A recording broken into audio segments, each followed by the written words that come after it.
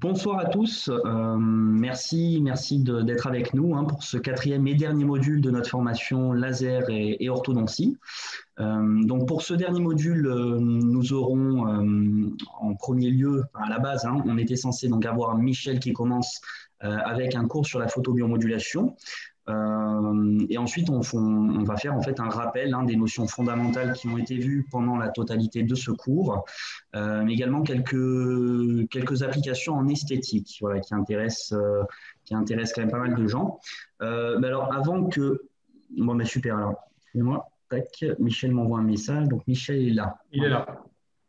Euh, bon, ben, en fait, bon, on, va, on va faire comme, comme c'était prévu, hein, du coup.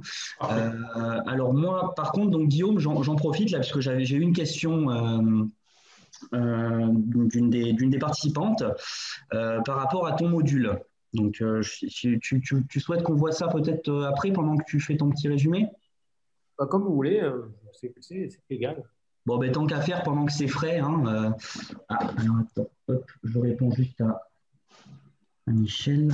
Hop, je vais le mettre en, en panéliste. Tac. Voilà. Là, on devrait être bon. Voilà. Vous ne m'avez pas mis en panéliste, d'accord. Voilà. ok, c'est bon. Désolé, désolé.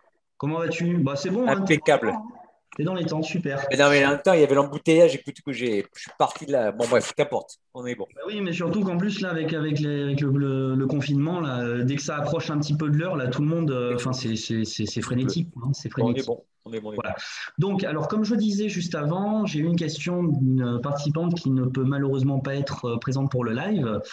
Euh, voilà, mais qui m'a posé une question. Donc, euh, je, te la, je te la pose, Guillaume. Hein. Après, vous êtes, vous êtes tous invités hein, à porter votre petite touche.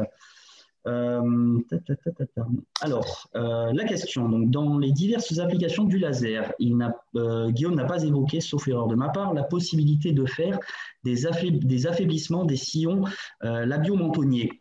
En effet, on observe souvent qu'une tension excessive à ce niveau freine la croissance mandibulaire chez le jeune enfant ou l'adolescent. Euh, a-t-il pratiqué ce genre d'intervention au laser Et si oui, comment faire pour obtenir une cicatrisation de deuxième intention et autres précautions à prendre? Euh, J'ai jamais fait ça. D'accord, bon, ben, au moins, voilà, c'est rapide. Après, je ne sais pas du tout si on peut dire que le sillon euh, freine la croissance mandibulaire.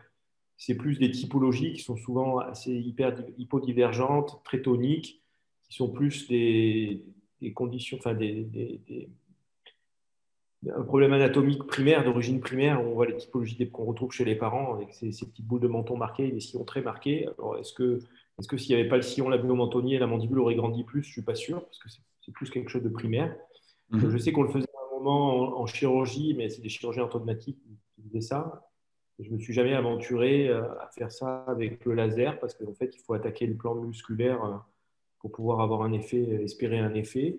après, je ne sais pas si pour autant ça ne se recrée pas et si ce n'est pas très, très primaire et très héréditaire, ce type de sillon. Donc, j'en ai pas l'expérience, non. D'accord, d'accord. Michel, ça te, ça te parle, toi? Enfin, tu as eu un tête non, pas au laser, quoi, pas les approfondir. C'est un geste qui, comme l'a dit euh, Guillaume, qui est un petit peu plus euh, profond et chirurgical qu'un dégagement canin. Parce que là, on va, on va être euh, au niveau musculaire, donc ça demande de, désinsérer certains muscles, d'avoir un repositionnement un petit peu plus profond. donc, ça dépasse un peu notre. Quoi, pour moi, ça dépasserait mon domaine de compétence. D'accord, d'accord. Voilà. ok, bon, à approfondir à l'occasion. Mais maintenant qu'un chirurgien se sert du laser pour le faire, c'est tout autre chose. Hein. Vous voyez qu'on fasse la, part de, la responsabilité de, chacun. Voilà, c'est dans ce sens-là. D'accord, très bien. pas que ce soit impossible de le faire, c'est que voilà. Et moi, j'en ai jamais fait en tout cas. Ça, c'est une certitude. D'accord, parce que tu, enfin, tu, tu penses qu'il y, y, y, y, a un risque trop important peut-être à se lancer dans C'est pas le risque, c'est vraiment dans les approfondissements vestibulaires, comme a des insertions très hautes du muscle, c'est vraiment des insertions musculaires. Quoi. Tu vois, c'est un geste, et il y a peut-être des réattaches musculaires à faire avec des points. Quoi. Tu vois, c'est un geste qui quand même demande euh, un niveau de pratique qui, qui dépasse peut-être euh, nos prérogatives aussi. D'accord, très bien. Voilà. Alors juste, hop, on va faire un petit, voilà, écran partagé, hop. Alors moi, je, voilà, je mets juste un trivialement tac. Voilà, je mets mon écran. Donc, juste pour faire un petit. Euh, hop, tac. Donc là, on est bon. Ok. Voilà, donc euh, le programme de ce module. Donc du coup, ben, on va commencer avec Michel euh, sur la photobiomodulation, son potentiel d'action en orthodontie. Euh, donc en dessous, hein, je vous ai mis quelques, applications en fait hein, mais tout part de, l'augmentation de l'énergie mitochondriale hein, et ensuite ben, tout ce qui en découle, bien évidemment, de par les réactions en chaîne. Donc ça implique une très grande quantité, on va dire, d'effets. Voilà. Euh, donc ensuite, on aura, euh, juste après Michel, on aura Hotman qui va nous faire un petit rappel des notions fondamentales hein, pour toujours rester un petit peu, faire le pont entre la photobiomodulation et la biophysique. Ensuite, Guillaume nous fait un petit euh, récap de son cours de la, de la session précédente. et puis, on sera bon. voilà. Donc, hop, Michel, je te laisse. Donc, bah, je, voilà, juste, je, me permets de remettre mes coordonnées hein, pour, euh, pour, euh, pour, les participants euh, ou ceux qui verront le replay. voilà, n'hésitez pas à me contacter hein, si vous avez la moindre question. Je me tiens à votre disposition et, et, je me ferai un plaisir de vous répondre. Voilà, donc je vais te laisser la parole, Michel. À toi. Allez, on y va.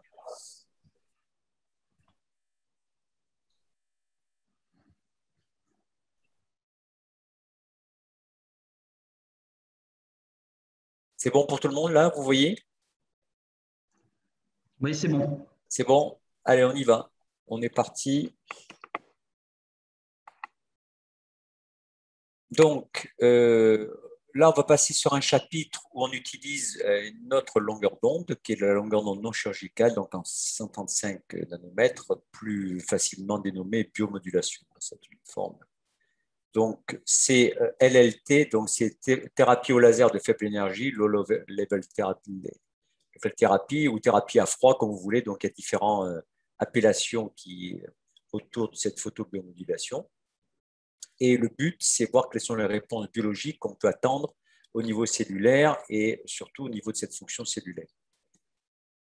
Donc, dans le, pour ceux qui l'ont ou ceux qui aimeraient euh, en posséder un, il y a, euh, c'est clairement défini ici, puisque vous avez euh, sur l'écran la partie biomodulation avec la longueur d'onde, donc il n'y a pas de possibilité d'erreur et de se tromper.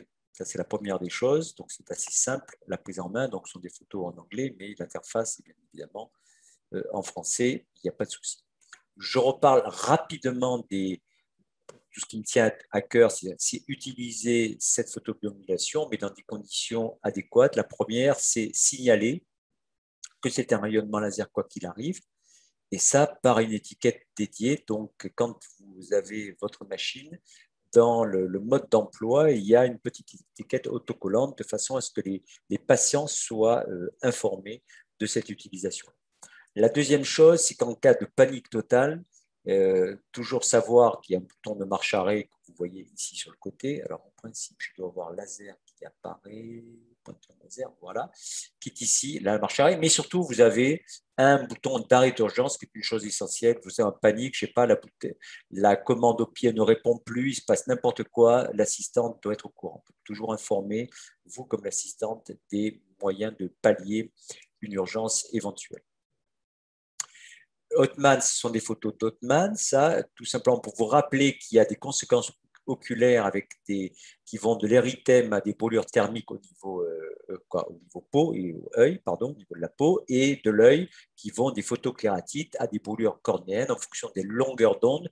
Donc là, je suis un peu plus large que la photobiomodulation, mais c'est pas parce que c'est sous un aspect qui semble un petit peu plus euh, moins invasif que automatiquement il n'y a pas des conséquences à l'utilisation. Donc, toujours être conséquent, euh, être au courant de ça. Et ça passe automatiquement par une protection qui est à la fois du praticien, à la fois du patient, qui est évidente, et à la fois de l'assistante, si celle-ci est au fauteuil pour vous aider, avec des lunettes hein, qui sont euh, dédiées. Ça sont aussi des, photos d'Otman, hein, ou à l'intérieur, parce que la codification est simple bleu-vert, mais si on a des doutes, vous avez toujours la possibilité à l'intérieur de la lunette de regarder ce qui est noté et d'avoir les longueurs d'onde appropriées de façon à tout simplement ne pas se tromper, à avoir un semblant de protection qui n'en est pas un.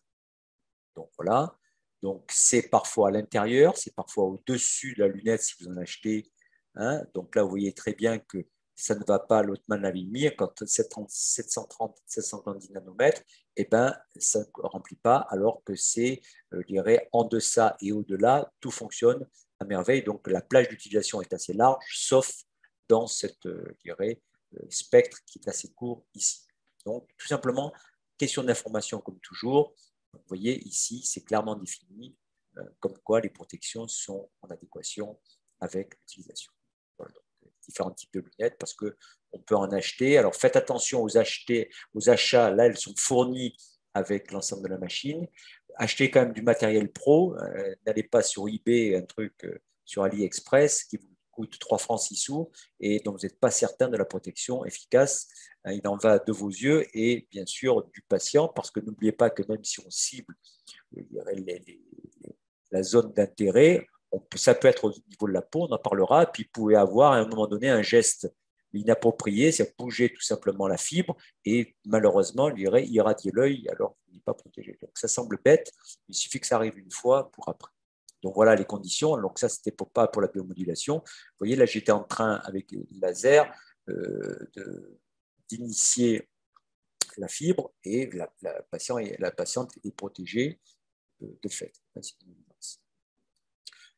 Au niveau de la biomodulation, vous avez différents embouts. Donc, chaque embout est spécifique à une utilisation donnée. Je vais vous montrer une photo de, la mallette. Donc, ça va d'embout large, hyper fin au niveau qui peut le sulcus, hein, avec des lentilles plus larges. Et bien sûr, voilà, tous adaptés au niveau de ce système-là. Donc là, ça se visse, certains se vissent, et d'autres s'enclenchent dans un système qui est vissé hein, sous forme aimantée. Donc, tout est prévu et bien prévu à cet effet. Voilà comment se présente la mallette. Ça, c'est la mallette qu'on a à l'hôpital aussi. Donc, vous avez ici.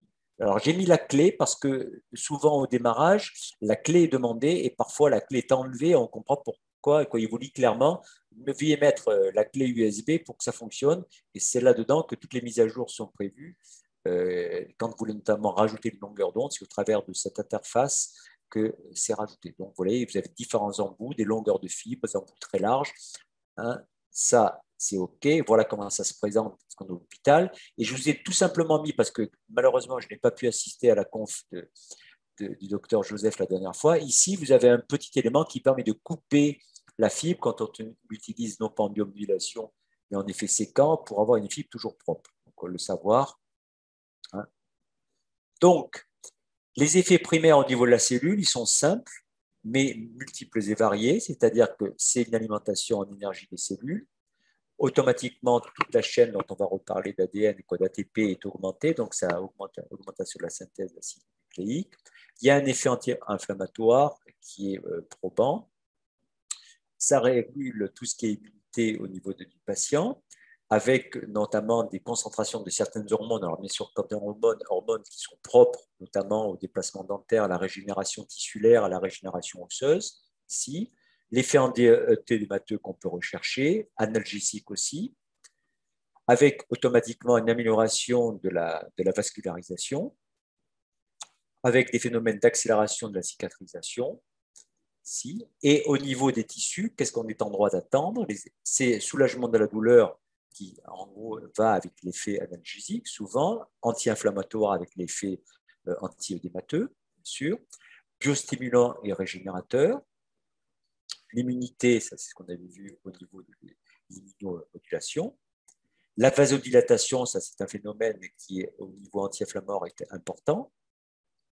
Automatiquement, en corrélation, c'est le flux sanguin et le drainage lymphatique qui sont des éléments clés à cet effet de, de, biostimulation, de régénération.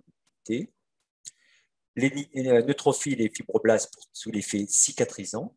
Ici, le métabolisme cellulaire qui est une nécessité à tous les éléments et, et paramètres qu'on recherche. Hein, sans augmentation du métabolisme et amélioration du métabolisme cellulaire, ça ne, ça ne peut pas avoir lieu. Et enfin, euh, tout ce qui est en rapport avec la douleur, les, euh, les récepteurs d'excitabilité propre à la douleur ont un seuil d'excitabilité qui est amélioré, donc ce qui fait qu'en gros, ça répond, ça permet un déclenchement antidouloureux un petit peu plus précoce. Quand on se concentre vis-à-vis -vis de notre discipline, les applications possibles au niveau analgésique sont le prévention de la douleur. On sait très bien, on va le voir, on va en reparler un petit peu plus précisément avec l'étude qui a été menée par le docteur Mario Ochoa, une de mes internes, qui a terminé en septembre, en octobre 2020. C'est il y a un déplacement orthodontique lié à la douleur. On va voir ce que ça donne et dans quel cadre cette douleur a lieu. Il y a malheureusement aussi ce qui peut entourer euh, un traitement orthodontique, hein, ça peut être des aftes euh, dus à l'appareillage, pas au sens direct du terme, mais induit. L'herpès, parce qu'il y a toujours un effet de stress, mais ce sont souvent des terrains aussi qui sont euh, propres à développer des herpès. Les, tout ce qui est DTM, les, tout ce qui est troubles articulaires, hein, qu'ils soient induits ou non par le traitement, qu'ils soient déjà présents ou révélés par le traitement, parce que au niveau des méta-analyses, n'a jamais été prouvé que euh, des DTM, des dysfonctions temporomandibulaires, pouvaient être directement dues un traitement orthodontique. Parfois, elles sont présentes, non révélées au sens euh, clinique du terme, mais c'est suite au traitement que ça met en exergue ce petit problème latent. La douleur post-chirurgicale orthodontique, quand on a des chirurgies orthodontiques, c'est quelque chose de très intéressant parce que euh, même si euh, l'interlocuteur privilégié, c'est le chirurgien, euh, étant donné qu'on est amené à revoir la personne à une quinzaine de jours, la plupart du temps, 10 à 15 jours en post-chirurgie, et qu'il y a un problème, la plupart du temps, le premier coup de fil qu'on donne, c'est pas au chirurgien, parce que sa disponibilité est moyenne, parce que c'est à l'orthodontiste. Donc, l'orthodontiste doit déjà répondre à cette demande-là de façon verbale. Et lors d'une des consultations, s'il peut y répondre euh, par une thérapeutique sous forme de biomodulation, c'est toujours un plus. Et avant un acte euh, chirurgical, certains actes je en préventif peuvent être antidouloureux. Donc là, ça, dépasse du cadre orthodontie, mais ça peut être pour un dégagement euh, canin lié au traitement d'orthostion du au niveau osseux, donc il y a deux domaines euh, d'application qui sont bien sûr l'augmentation de l'activité ostéoclastique et donc ostéoplastique. Là, c'est pour le déplacement dentaire. On sait très bien que dans certains cas de figure, tout à fait besoin d'augmenter, je dirais, euh, le déplacement. Alors, est-ce que ça correspond à une nécessité d'ordre temporel? C'est-à-dire, est-ce qu'il y a 20 euh, ans ou 30 ans, même 40 ans maintenant, quand j'ai commencé mes études, on avait besoin d'aller vite dans nos traitements? Non, on n'avait pas vraiment besoin d'aller vite. Mais maintenant, dans certains cas de figure, notamment les patients adultes, sont demandeurs de traitement rapide. C'est la première euh, presque question, c'est que d'accord, je veux bien le faire, mais pendant combien de temps? Mais on peut le voir sur notre, notre forme, c'est-à-dire que c'est la notion d'ancrage. Et quand on veut déplacer une dent, on prend forcément appui sur autre chose. Alors, cette autre chose, bien sûr, si vous parlez mini-vis, l'appui étant, je dirais, un appui pérenne, la stabilité d'une mini-vis, ce n'est pas la stabilité d'une dent. Donc, on peut dire qu'on n'a pas besoin d'avoir un ancrage euh, au niveau de la dent à déplacer qui est d'une importance capitale puisque la mini-vis remplit ce rôle-là. Par contre, si vous prenez appui sur par exemple pour rétracter une prémolaire sur une molaire. Là, on a peut-être besoin d'affaiblir l'ancrage de la prémolaire qu'on va reculer tout simplement en augmentant la régénération euh, osseuse sur cette dent particulière. Donc, on cible la dent sur laquelle on veut diminuer la résistance osseuse tout en gardant le même potentiel osseux sur la dent d'appui que serait la molaire. Donc, le gros avantage de certains lasers, quand ils sont comme ça ponctuels, c'est que ça ne on n'est pas irradié, on avait dit illuminé, ça n'illumine pas toute la zone dentaire. Donc, si vous avez une illumination de toute la zone complète de l'arcade, en gros, vous donnez la possibilité aux dents de se déplacer toutes en même temps dans le même sens. Et à ce moment-là, vous n'avez plus d'ancrage spécifique et parfois, ça peut être un inconvénient. Donc, on accélère le déplacement dentaire, ce qu'on peut rechercher ici. De fait, on peut aussi augmenter la cicatrisation osseuse, surtout en post-chir. hein, notamment extractionnel. Et ça, c'est fait en fonction de la quantité d'énergie qui est euh, spécifique de ce que l'on recherche. Et vous voyez très bien que en activité physiologique, c'est 1 à 4 joules par centimètre carré. On va voir ce que ça définit ça. On parlera du fluence un petit peu plus tard. L'activité physiologique propice, c'est dans une zone de 5 à 9. Et en inhibition, on est dans des dosages qui sont nettement plus importants, de 10 à 14. Donc ça, il faut en avoir quelques notions. C'est important. Ottman en avait parlé lors du module 2, mais la machine est tellement bien conçue, on est d'accord que vous allez voir qu'en fonction de ce que vous recherchez, déjà les énergies et les fluences, quoi, tout ce qui est irradiance, tout ça est déjà calculé. Donc, vous devez en avoir une certaine connaissance, mais ce n'est pas non plus une prise de tête à chaque fois qu'on va réaliser un acte. Et c'est l'intérêt même de ce genre machine.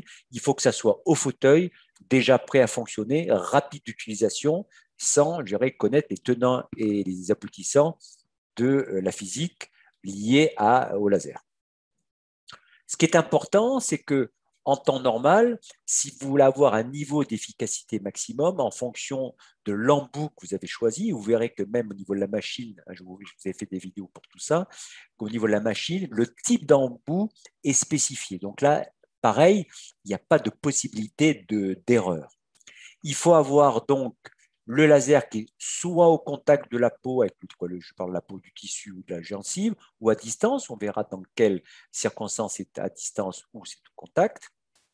Il faut, contrairement à ce qu'on pourrait croire, que la surface soit humide, donc qu'elle ne soit pas desséchée, mais qu'elle soit propre, c'est qu'elle ne soit pas polluée.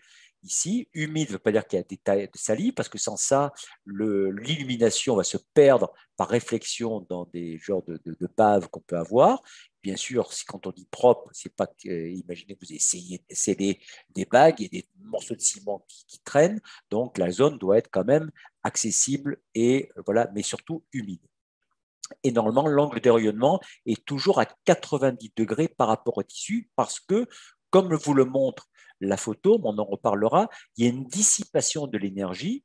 Et si vous n'êtes pas perpendiculaire, hein, la dissipation va être déjà aérienne alors avant d'être au niveau tissulaire. Donc, en fonction de l'étiologie, de la problématique que l'on veut gérer, Là, ce sont des schémas qui sont tirés pour retrouver dans le PDF qui est livré avec la machine. Vous voyez, l'herpès et l'hypersensibilité, c'est au contact ponctuel.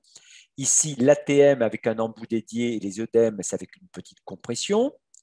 Quand c'est des problèmes euh, d'accident d'évolution des troisièmes molaires, vous pouvez faire un balayage, mais là, je vous montrerai et vous expliquer dans quelles conditions le balayage doit, doit être fait, ici. Post-extractionnel, vous êtes plutôt à distance. Et enfin, post-chir, notamment, ça j'aime bien, moi, c'est quand il y a une forme d'œdème euh, lié à la chirurgie, quand on le constate en post-chirurgical immédiat, 10-15 jours. Donc, si les patients sont pleins, c'est bien de faire un balayage. Vous voyez, on est plutôt à distance et on fait euh, une grande surface avec les embouts qui sont dédiés. Donc ça, je dirais, euh, c'est à pas étudier, mais à savoir et à connaître une fois ou deux. Et après, on est dans le même registre. C'est-à-dire qu'on est toujours confronté aux mêmes situations, hein, soit de DTM, soit de post-chir, soit post-extractionnel. Euh, vous voyez Donc, c'est des schémas qui sont répétitifs. Et une fois, deux fois, trois fois, vous allez fouiller dans, le bouquin. Puis au bout d'un moment, je dirais, ça sera ancré et vous n'aurez aucun problème à répéter les gestes. Hein. C'est comme tout, je dirais, tout protocole. Il suffit de le mettre plusieurs fois en œuvre pour qu'automatiquement ça devienne simple à mettre en œuvre. Alors bien sûr, ce genre de machine, si vous l'achetez, c'est pour l'utiliser, c'est la palissade de l'entendre, mais souvent j'entends des gens, oui, il faut essayer d'augmenter votre gamme d'utilisation ben, en vous formant, ça c'est certain, c'est bien dommage qu'on ne soit pas, euh, dirais, en, présentiel, parce qu'on aurait, avec Guillaume, vous aurez montré euh, facilement, je l'utilisation, et même sur, euh, sur des mâchoires de porc, c'était simple à mettre en œuvre des rappels qui sont tirés du propos d'Otman, même s'il en reparle après, je l'avais prévu ici, c'est un l'énergie qui est en joule, parce que c'est marqué au niveau de la machine. Donc, c'est un joule, c'est un milliwatt par seconde. C'est une notion de puissance de machine en milliwatts euh, euh, par le temps. Donc, le temps est une notion importante et vous allez voir que quand on varie, euh, on fait varier la puissance, il y a des variations de temps aussi. Vous avez l'irradiance, en gros, c'est par rapport à la surface c'est quantifier la puissance du rayonnement, combien j'ai sur une surface donnée, et on verra que l'embout est, dirais, une chose essentielle là-dedans. Et enfin, la fluence, qui est vraiment, la chose la plus importante, c'est l'énergie qui est restituée par centimètre carré de surface euh, cutanée ou gingivale. Et ça, c'est en gros l'irradiance par le temps. Donc, c'est joule par centimètre carré, c'est véritablement ce que le sujet va recevoir. Donc là, vous me dites, c'est des notions un petit peu compliquées, toujours pareil, mais il suffit de se les poser une fois ou se faire un petit mémo à un endroit et c'est toujours la même chose. Et on va voir qu'au niveau de la machine, ces notions apparaissent. Effet hyper important dont vous avez parlé, Hotman, c'est la courbe d'Arne-Schulz. Je bois un coup, excusez-moi. C'est, on a toujours tendance à en faire un petit peu trop. C'est-à-dire que ben, je vais tout simplement irradier une dose et on voit très bien ici en abscisse le dosage, l'irradiation, vous voyez, ici, et en ordonnée, vous avez les effets thérapeutiques attendus. Et que finalement, on est dans une zone où plus on augmente, on pourrait penser que meilleur c'est, mais à un moment donné, on arrive à une zone palier, c'est-à-dire qu'on a beau augmenter, là on va dire qu'on est à moitié, on est à peu près à 8, 8 9, vous voyez, on voit qu'il y a une zone palier, c'est-à-dire que le fait d'augmenter le dosage ne va pas améliorer la situation. Et si on a tendance à en faire un petit peu trop, c'est même l'effet contraire, c'est-à-dire qu'au niveau cellulaire, vous allez avoir un effet néfaste. Donc ça, il faut respecter, un, les dosages, deux, le temps, et pas faire des applications à répétition en se disant, plus j'en fais, puisque c'est en biomodulation, c'est doux, entre guillemets, je ne vois pas d'effet direct, hein, ce n'est pas comme ce que vous a montré euh, Guillaume, si je, je commence à faire un coup de laser au niveau cutané, au niveau gingival un petit peu plus important, je vais tout de suite voir ce qui se passe. Là, c'est sournois. Donc, on peut malheureusement avoir des effets contraires à ce qui est attendu. Et c'est exactement la notion de chevauchement des champs d'humidation. À partir du moment où vous avez une largeur donnée au niveau de l'embout, voyez, avec un dosage donné ici en joules, eh ben, il ne faut surtout pas faire ici du chevauchement d'illumination. Sans ça, là, vous allez avoir dans certaines zones spécifiques du surdosage et avoir un effet contraire à ce que vous attendiez. Donc, il faut être précis dans la mise en place de l'embout et le déplacement doit être aussi précis. Donc, on contrôle ce que l'on fait, on regarde où on était, on se déplace, bien sûr, juste à côté sans avoir un chevauchement. Le chevauchement n'est pas une chose qui bonne. Et ça, c'est toujours tiré de, de C'était pour montrer que finalement, euh, l'appareil, on aurait tendance à se dire, eh ben, je vais voir mon patient tous les jours. Donc, il y a le surdosage, au, au sens temporel du terme, dans la même séance, c'est-à-dire que je vais en faire un petit peu plus parce que j'estime que ça va être bien. Et après, il y a le surdosage, je veux voir la personne tous les jours. Alors là, dans la littérature, le but de, propos, ce n'était pas vous faire une revue de la littérature, c'est le laser, parce que il y a eu des thèses dessus, donc tout un chacun peut accéder à cette information. Mais il a été montré aussi, c'est que il faut surtout euh, éviter d'avoir des doses administrées à des intervalles de temps qui sont trop courts. C'est-à-dire qu'au lieu d'avoir un effet cumulé qui va être euh, stimulant, vous risquez d'avoir des effets cumulés qui auront l'effet inverse selon la loi qui vous a été précédemment définie. Donc, faire attention à ça. Hein, puisque toujours pareil, hein, si ce n'est pas invasif, on a l'impression que, comme tout médicament, je dirais homéopathie, puisque, ou les huiles essentielles, oui, on a très bien montré que avec les huiles essentielles, il y avait des dangers à la surconsommation d'huiles essentielles.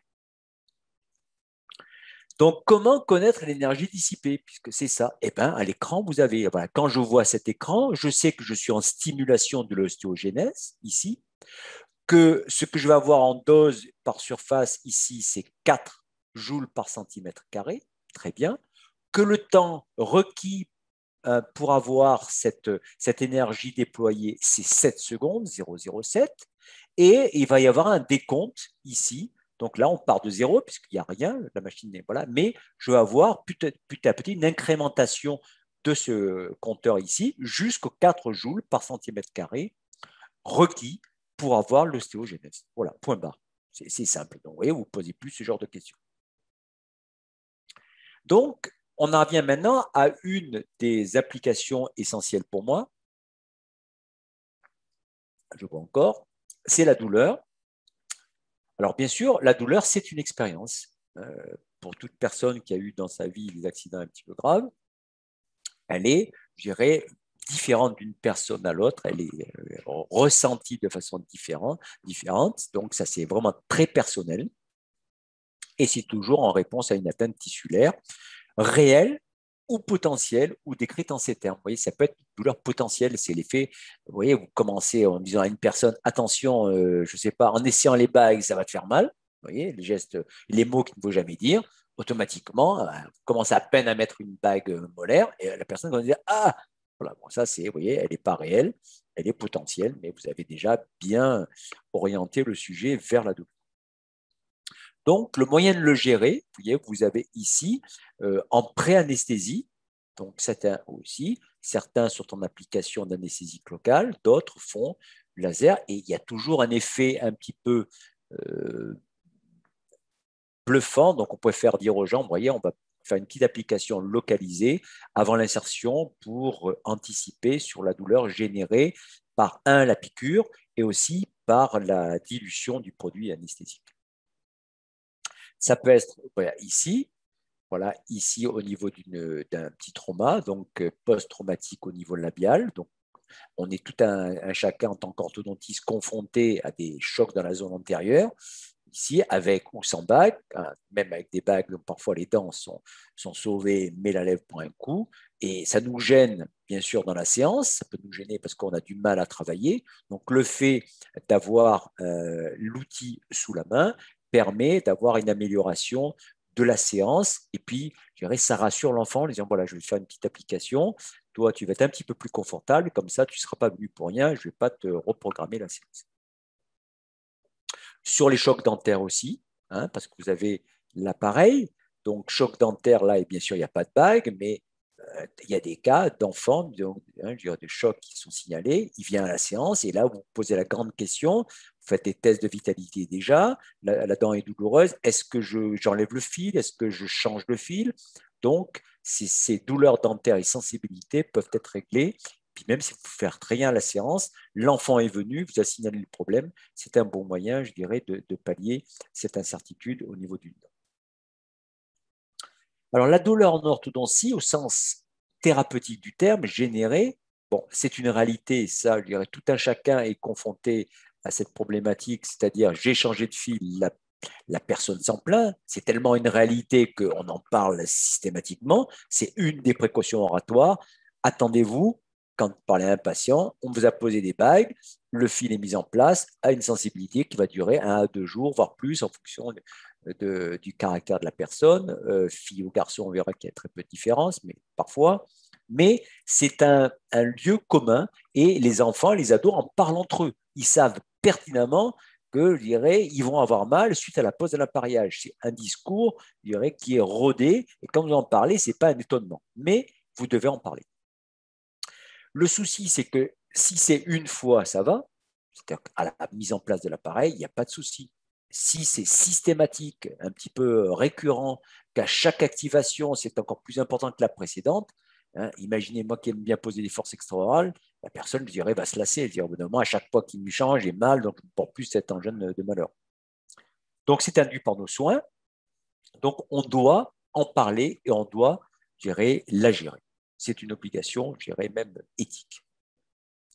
Alors, le déplacement dentaire accompagne accompagne, je dirais, le, la douleur plutôt accompagne le déplacement dentaire. Pourquoi? Parce que le déplacement dentaire, c'est une inflammation. Vous créez, je dirais, l'inflammation au travers du déplacement initial, de la compression desmodontale et tous les, tous les facteurs de réparation. En gros, vous créez une zone de nécrose, nécrose qui va être résorbée par les ostéoclastes à distance ou euh, immédiatement en résorption directe ou indirecte. Donc, cette nécrose, c'est une réponse inflammatoire qui va permettre d'être gérée et automatiquement, il y a douleur. On ne peut pas éviter, c'est la fameuse zone hyalite.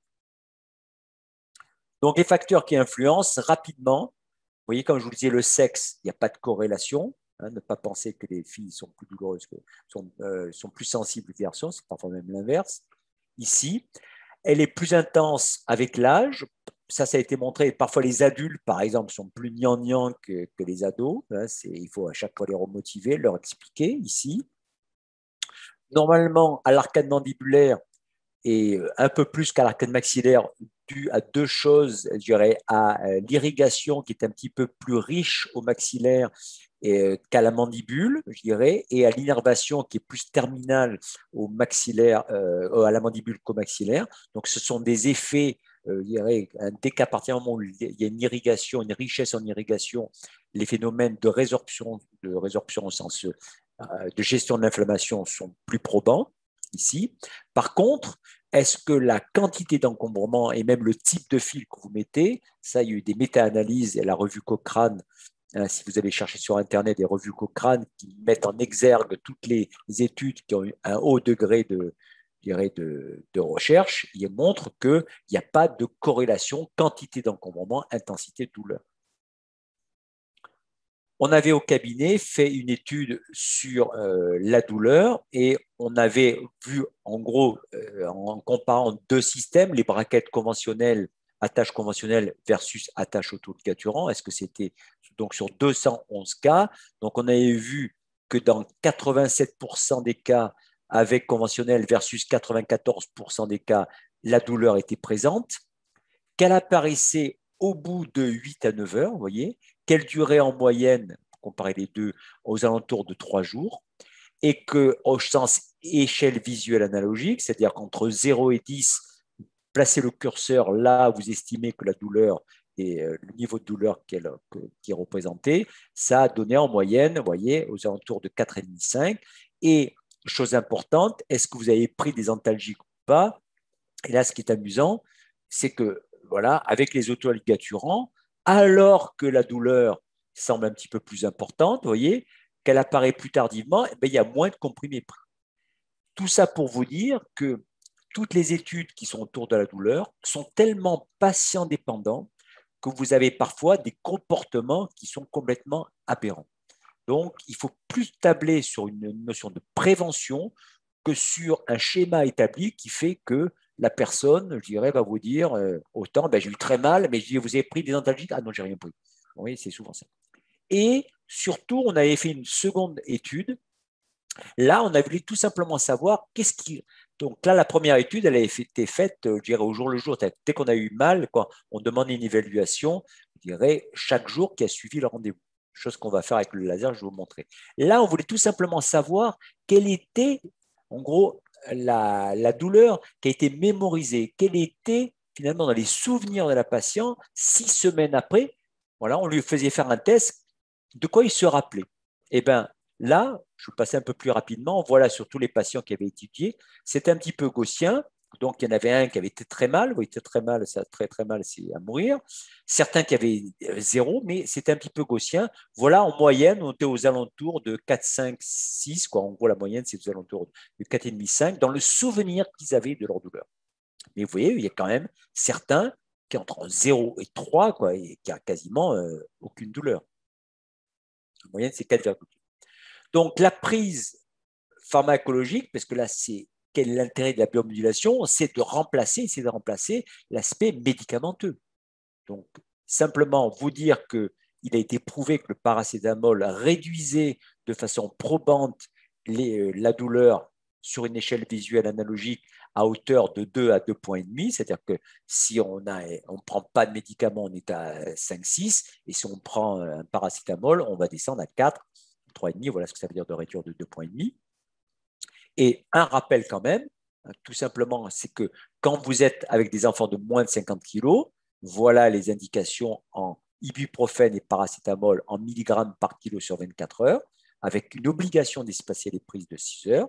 Et voilà, quand vous êtes avec un enfant de plus de 50 kg, les recommandations, toujours avec un espacement de prise de 6 heures. Ça, c'est les recommandations au sens donc il a pareil. Quand il y a une demande de prescription, même si vous avez fait la biomodulation, pouvez pas ne pas répondre à la demande. Donc ça, pour moi, c'est quelque chose d'essentiel. Donc, l'alternative quand je dis alternative, c'est un complément, ce n'est pas forcément une substitution parce que assurer aux, aux enfants ou à l'ado à qui vous avez fait du laser, qui n'aura pas besoin de paracétamol, je pense que ce n'est pas une bonne approche. Il faut toujours leur expliquer que le paracétamol peut être une alternative. Ici, c'est forcément le euh, laser, diode. Ici, la longueur d'onde, je ne la répète pas, mais surtout, au travers de cette longueur d'onde, c'est la pénétration au niveau des tissus qui est importante. Ce qu'on avait fait dans l'étude, ici, c'est que le spot utilisé faisait 8 mm et le temps d'application était assez long parce qu'on avait 25 secondes par temps.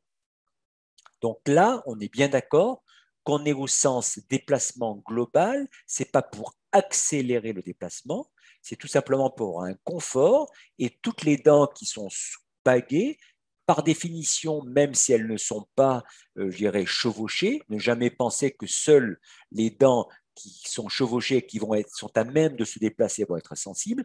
Pensez tout simplement à la notion de réaction, c'est-à-dire que si je déplace une dent, forcément, il y a une autre dent qui est réactionnelle et qui, elle aussi, va subir le contre-coup de mon traitement, elle risque d'être sensible. Hein. il n'y a jamais de personnes qui ont plus mal ou mal qu'à une ou deux dents et pas mal au reste. Ça n'existe pas en phase initiale. C'est pas vrai.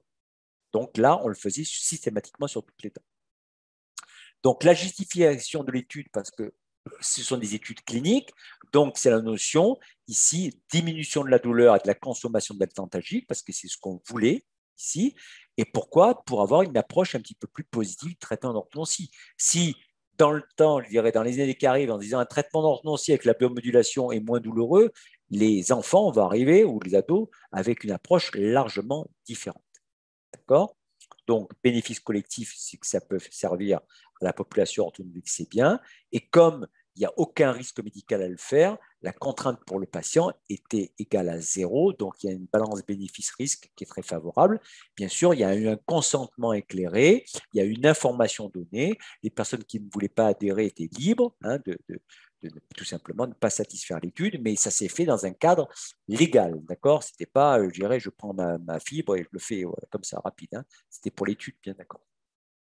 Donc, on a tout simplement voilà, le jour de la pose des boîtiers, ici, l'arc c'est 1.014, tirage au sort. Alors là, pour être un petit peu plus original dans l'étude, c'est qu'on n'a pas comparé uniquement une population illuminée au laser versus une population non illuminée, mais on a fait un petit biais, pas biais, pas biais d'étude, mais une petite euh, entourloupe, c'est-à-dire qu'on avait un groupe laser diodactif, d'accord Ici, application donc au contact de la muqueuse, ce qui est recommandé, bien parallèle, ici, 25 secondes par dent, et au tiers coronaire de la racine et toute l'arcade. Voilà, on la revoit une fois. Deuxième groupe, bien sûr, c'est un laser diode inactif. C'est-à-dire, qu'est-ce qu'on faisait?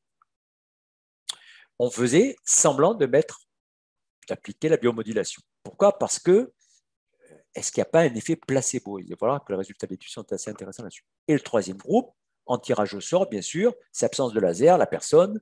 Donc, euh, je dirais, ben non, tu n'as pas le droit au groupe laser, désolé, mais on a fait quand même, on lui a donné un questionnaire puisqu'il allait, lui, rentrer dans une catégorie normale. Comment s'est-il comporté face à la mise en place d'un appareillage au niveau douleur? Voilà. Donc, ça, c'est classique, au maxillaire comme à la mandibule.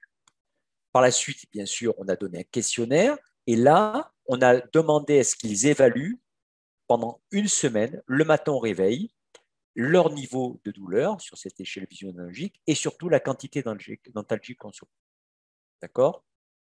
Donc, l'avantage de l'échelle visuelle analogique, c'est vraiment la plus reproductible de toutes les méthodes.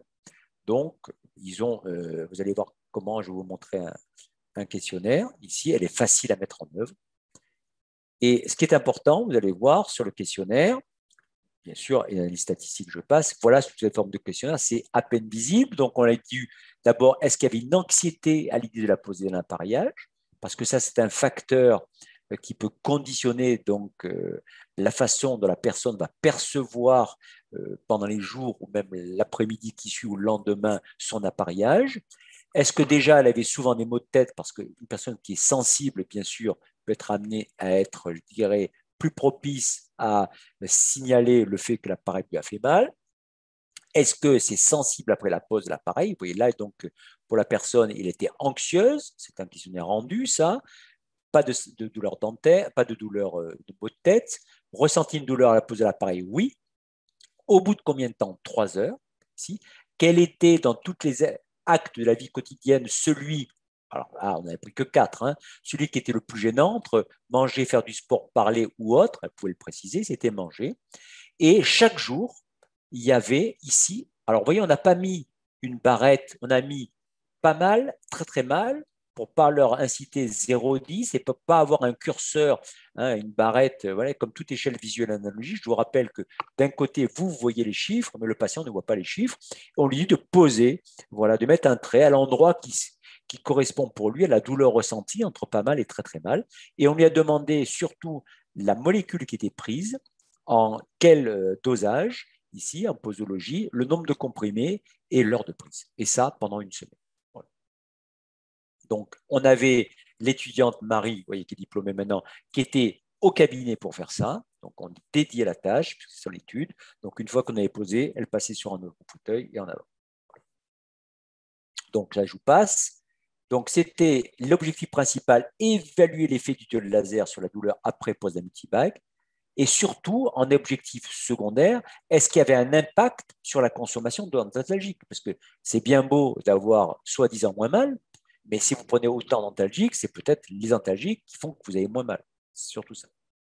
Et bien sûr, le euh, quantitatif, c'est l'intensité et la quantité d'antalgiques consommés. Donc, on a vu 166 euh, euh, patients qui sont entrés. L'âge moyen, c'était 13 ans. Ici, la répartition garçon-fille, un petit peu plus de filles que garçons.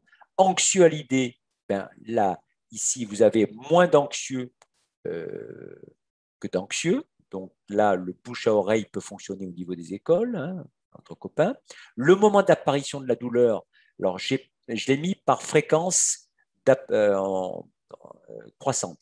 Donc en fin de séance que 3%, 12 heures 6%, entre 6 et 12 heures 6%, et là, au-delà de 24 heures 16%, 1 heure 29% quand même, et une à 6 heures 39%. Donc on retrouve un petit peu le schéma. Donc si on regarde bien, le maximum ici, c'est au bout de 1 à 6 heures.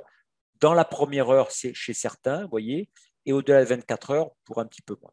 Donc, on peut considérer que la douleur en moyenne, pour 30%, c'est dans la première heure. Donc, c'est pour ça qu'il faut leur dire de, prendre un talgique au moment où la douleur apparaît et jamais en anticipation, parce que parfois, vous avez des personnes qui arrivent et qui ont déjà pris un paracétamol, c'est une erreur, parce que le déclenchement peut apparaître, imaginez au bout de 6 heures, donc le paracétamol n'a pas été pris au bon moment, et le temps d'activation de la molécule, c'est en principe 20 minutes.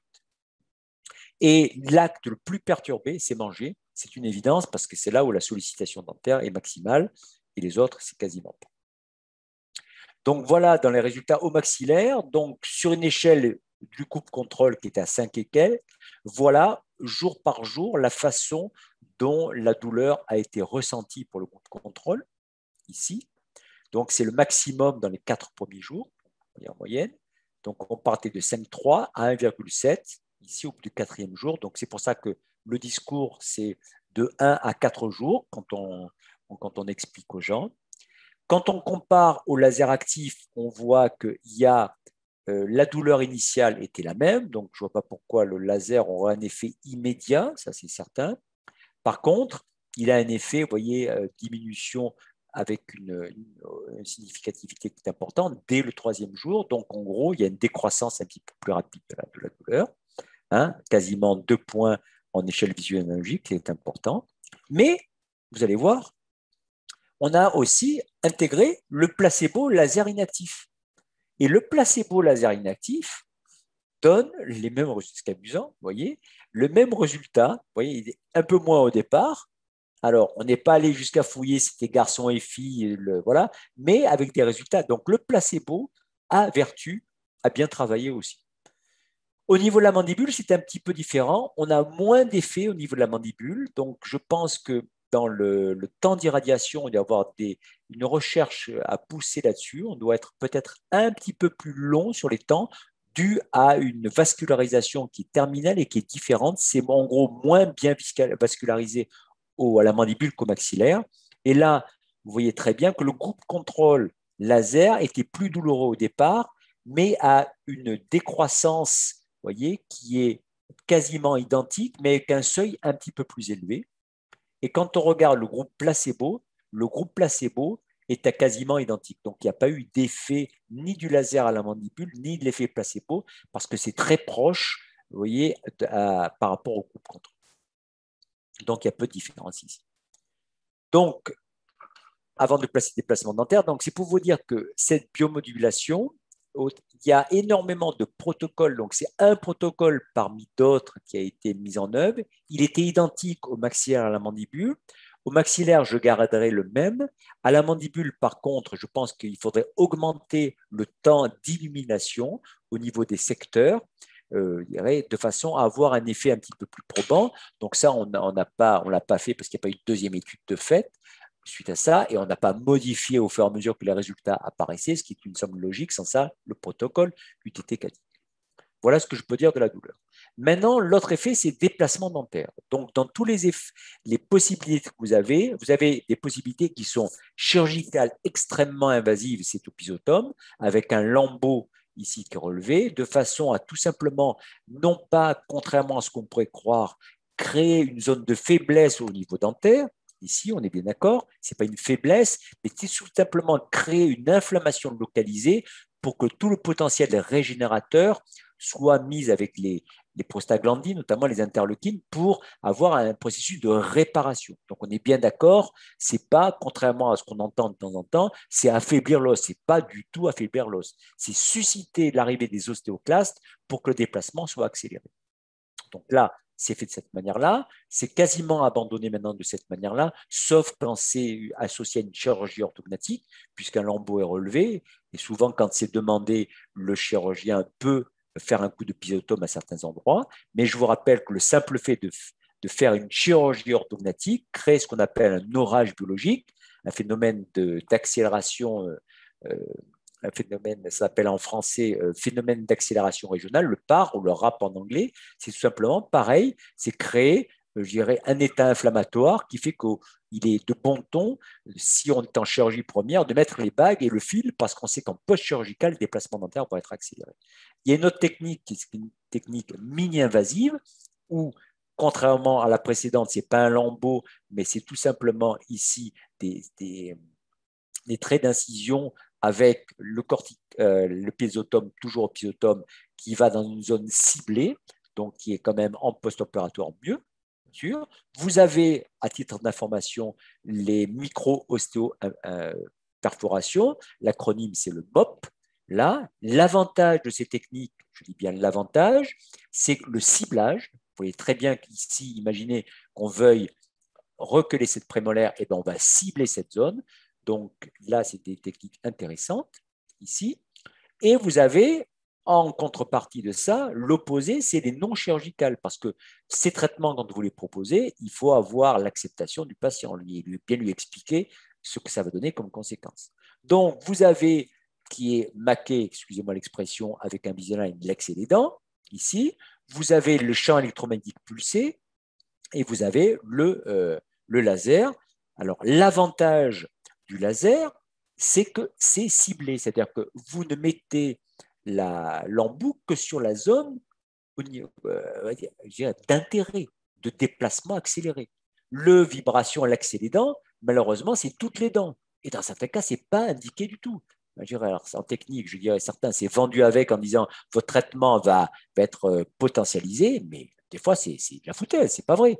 Il y a des dents qu'on ne veut pas déplacer le champ électromagnétique pulsé, je vais vous montrer des photos.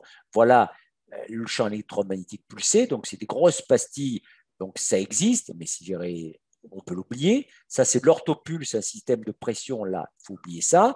Et ça, l'accès des dents, il faut le faire 20 minutes par jour. Et je peux vous montrer, on avait des études d'observance avec des puces qui ont été mises dans des appareillages pour voir si les, gosses mettaient leur, leur appareillage de façon régulière. Ça, D'abord, ça coûte un bras, et quand vous le faites, je vous garantis que le résultat, au sens littérature du terme, c'est zéro. Donc c'est pareil pour moi, et ça, j'en prends la responsabilité, hein, perso, en disant que c'est un truc qui est cher, qui est vendu, soi-disant accélère, mais qui donne rien. Et en plus, ça, ne, ça donne un aspect, même si c'était efficace, c'est une efficacité qui serait globale. Or, le but en orthodontie, c'est d'avoir du ciblage avec des zones de priorité. Donc, L'avantage avec le laser, je dirais bien sûr, c'est l'augmentation ici par cette chaîne dont on a parlé tout à l'heure, au niveau ATP, la régénération, l'énergie que vous apportez au niveau de la cellule, donc augmentation du renouvellement, mais pareil, là, vous allez voir que vous avez un dosage qui est déterminé par la machine sans vous prendre la tête là-dessus. Donc, on avait fait une étude comparative ici, tout simplement avec euh, photo et empreinte, et où le sujet était son propre témoin. On avait des patients qui étaient vus tous les 15 jours et on avait une application locale sur les, dents qu'on voulait déplacer. Alors, on le faisait non seulement sur la prémolaire, mais comme on aimait, on voulait aussi que la canine suive le mouvement, on le faisait sur ces deux dents. Et dans certains cas de figure, je dirais, vous ne voulez pas que l'encombrement se dissipe dans la zone antérieure, vous voulez qu'il se dissipe dans la zone d'extraction, et automatiquement, on n'avait pas fait ça dans la zone antérieure. Donc, le gros avantage du laser, c'est le ciblage de la zone. Les résultats, je le donne sommairement, je suis moins complet, c'est que, alors, il n'est pas énorme. Voilà, quatre semaines en bleu sans laser et illumination, donc, et en rouge avec, ici. Alors, la différence, ce n'est pas énorme. Alors, l'explication, contrairement à ce qui est parfois vu dans la littérature, c'est très simple, c'est que là, vous avez vu, on a vu les patients tous les 15 jours. Donc déjà, c'est pour ça que l'application en cabinet, pour moi, de, l'accélération de déplacement dentaire, et des protocoles, des protocoles où on voit que les gens reviennent tous les deux, trois jours. Donc, imaginez la gestion d'un cabinet au sens accélération de déplacement dentaire chez tous les gosses. Vous allez les revoir combien? Une fois par semaine, euh, pendant euh, six semaines? Alors, ça peut être intéressant dans certaines phases critiques de redressement molaire pour des adultes peut-être, mais si tous les gosses vous êtes dans cette phase-là, il faut être à un moment donné, je dirais, être, avoir les pieds sur terre. Même si vous dites que c'est super efficace, qui va reprogrammer tous ces rendez-vous à une semaine et chaque semaine pendant un mois, un mois et demi, deux mois? Vous ne gérez plus la chose. Sauf si vous dédiez ça. En gros, c'est une activité parallèle, entre guillemets. C'est-à-dire que c'est une assistante qui est dédiée qu'à ça et qui voit les gosses et vous, vous ne les voyez pas. Et sans ça, pour moi, c'est ingérable. Donc, on en revient maintenant à quelque chose de plus pragmatique. Une biomodulation, donc, choix avec l'écran tactile, ici, vous êtes sur la biomodulation et vous passez, vous avez donc ici quatre écrans, thérapie de la douleur, voilà ce qui apparaît. Je passe à l'écran suivant. Alors oui, j'ai oublié de vous le dire que la gestion aussi, une fois une... Euh, alors je reviens, pardon. Vous voyez, j'ai pris thérapie de la douleur, ici, thérapie de la douleur, j'ai les caractéristiques dont on va reparler, j'ai le type de fibre dont on va reparler. Et voyez que vous avez la diode laser. Alors là, bien sûr, je n'ai pas de gants, mais c'était pour l'exposer. Vous cliquez sur ce petit logo ici. Et une fois cliqué, le logo vient un fond orange et la diode devient vert, c'est qu'elle est activée. Et à partir du moment où elle devient rouge, c'est qu'elle sera en illumination. Donc, c'est très simple de euh, mise en œuvre. Là, ça semble toujours comme ça, expliquer à distance, un petit peu compliqué, mais vous le faites une fois et c'est ancré. Le déclenchement est au pied. Simple. Pourquoi? Parce que, contrairement à certains qui sont vendus sous forme de stylo, le déclenchement à la main, ce n'est pas pratique. Hein, vous avez un geste qui doit être précis. Le déclenchement au pied vous permet de vous concentrer sur la zone et de ne pas avoir appuyé. La plupart du temps, des fois, on est à côté du bouton et on appuie à côté, puis on se dit, mince, ça ne s'arrête pas, ou ça ne commence pas. Donc, le déclenchement au pied, c'est du confort de travail. Donc, voilà le premier tableau, thérapie de la douleur jusqu'à saignement post-opératoire. Je passe au deuxième tableau, et là où j'en suis, je vois des flèches droite-gauche, je peux revenir ici, de la guérison à l'abcès de poche, le troisième, stimulation de l'ostéogénèse jusqu'à hyperesthésie. Et le dernier, dénudation de plat. Et là, on voit très bien, je vois que je n'ai pas de flèche à droite, donc je dois revenir à l'origine. Ça, c'est la première des choses. J'ai pris thérapie de la douleur. Je vois que la recommandation, c'est l'embout de 8 mm ici. Là, je suis en zone d'attente ici. Les caractéristiques sont très simples. Ici, la puissance est donnée, l'énergie délivrée va aller jusqu'à 10 joules par centimètre carré, ici, et un temps donné pour obtenir cette énergie-là de 25 secondes. La programmation est faite. On est d'accord. Ici, voilà, je clique sur la suivante. Excusez-moi deux secondes, on m'appelle, c'est hyper important. Je passe au tableau d'après. Voilà, je reprends les caractéristiques, le temps, et petit à petit, voilà, j'ai mis en route ici voilà, je vois que le décompte se fait au niveau de traitement, que j'ai déjà une énergie, énergie dissipée de 2,4 et ça va arriver jusqu'à ce que je désire obtenir. Là, je suis stimulation de l'ostéogénèse. Tableau en bout le même, mais voyez, énergie 300 milliwatts, durée de traitement 7 secondes, dose délivrée 4 jours. Donc, vous avez toujours une corrélation puissance ici et l'embout. Parce que l'embout, comme l'a dit Hotman dans le cours numéro 2, si je prends un embout plus fin ou plus large, l'énergie dissipée dirais, est proportionnelle aussi à la taille de l'embout. Comprenez très bien, si vous avez 300 milliwatts, une puissance sur un embout qui fait 2 cm, n'aurez pas la même énergie délivrée. Ça va se dissiper de façon plus importante. Donc là, voilà, stimulation, c'est ça. Point barre. Dysfonction de l'ATM, vous voyez, moins de puissance, énergie. quand je reviens, c'est toujours pareil, et 25 secondes. Voilà. Et là, je vais vous montrer tout simplement un truc. Dysfonction de l'ATM, on y va. C'est une vidéo qui doit se lancer en principe, si ça marche, si elle veut bien. Voilà. Ici, vous allez voir que l'envou est un embout qui est différent. Alors, je reviens, hop, deux secondes. J'ai oublié de vous le dire. Ça va se relancer. Regardez, l'embout, c'est l'embout qui fait 14 mm. Donc, pour avoir cette puissance délivrée, s'il veut bien se lancer, vous voyez, l'embout, c'est un embout qui est fait pour l'ATM. J'appuie dessus. Voilà, ça se met en orange. Je n'ai pas déclenché. Là, mon truc est vert et bien sûr, je fais attention de ne pas prendre la tête. Voilà l'embout. Et vous voyez, vous avez le décompte en temps et l'énergie dissipée petit à petit. Voilà. Là, bon, j'ai arrêté avant juste pour la vidéo. D'accord? Herpès labial, oui. petite énergie, milliwatts, 4 joules en global, temps 20 secondes. Bon, je passe. Récession gingivale, donc vous voyez 100 milliwatts, toujours pareil. Et je vous ai fait une petite vidéo pour montrer la simplicité de la chose, si elle veut bien se lancer. Voilà. Biomodulation. Très bien. Je passe à thérapie de la douleur. J'ai ce qu'il faut. Donc voilà, ici, j'appuie sur l'embout. Vous voyez, hop, il devient vert juste là à gauche. Il est prêt à fonctionner. J'appuie sur la pédale, il devient rouge. Le temps. D'accord? Voilà, donc c'est simple. Là, j'ai arrêté pour la démo. Désolé, je ne sais pas si vous entendez le son, mais ce n'est pas prévu. Là, voilà, je vais passer sur autre chose, ici, tout simplement. Là, c'est le tableau d'après. Ici, je suis seul à filmer en même temps. Désolé. Ostéogénèse, vous voyez, l'emblou de 8 mm, j'appuie, 7 secondes. Pareil, donc là, c'est rien. Je vous ai montré que la pédale est tout. Voilà, c'est simple, c'est tout bête. C'est même couillon de manger ce genre de vidéo, mais pour tout simplement vous expliquer que c'est simple. Voilà, voilà, je n'ai pas fait en cas réel. Voilà, et vous avez exact 7 secondes, vous respectez le temps. Voilà. Et regardez, si je change la puissance, regardez en bas, on était à 7 secondes, le temps passe à 6. Vous voyez, plus vous augmentez pour la même énergie de 4, mais je suis à 6 secondes. Donc, pour montrer qu'à un moment donné, l'énergie dissipée va être, je dirais, sur un temps plus faible parce qu'elle est plus importante pour moins avoir la même euh, influence, euh, je dirais, donnée. Vous voyez? Donc ça, c'est une chose importante. Là, je peux augmenter l'énergie délivrée et vous voyez, le temps passe à 10 secondes. Donc il y a toujours un rapport puissance, énergie dissipée et temps. Et la machine vous gère ça. C'est pour ça que les formules que je vous ai données, histoire de les savoir, mais si vous voulez, c'est plus savoir quelle énergie que je dois développer plutôt que euh, quelle est la corrélation et l'adéquation entre énergie, temps, c'est la machine qui vous le calcule. Et dernière chose, je vous ai montré, ici qui est importante, ici inflammation, regardez l'embout, c'est un embout qui fait 2 mm. Donc 2 mm pour avoir 6 joules, il faut que 2 secondes.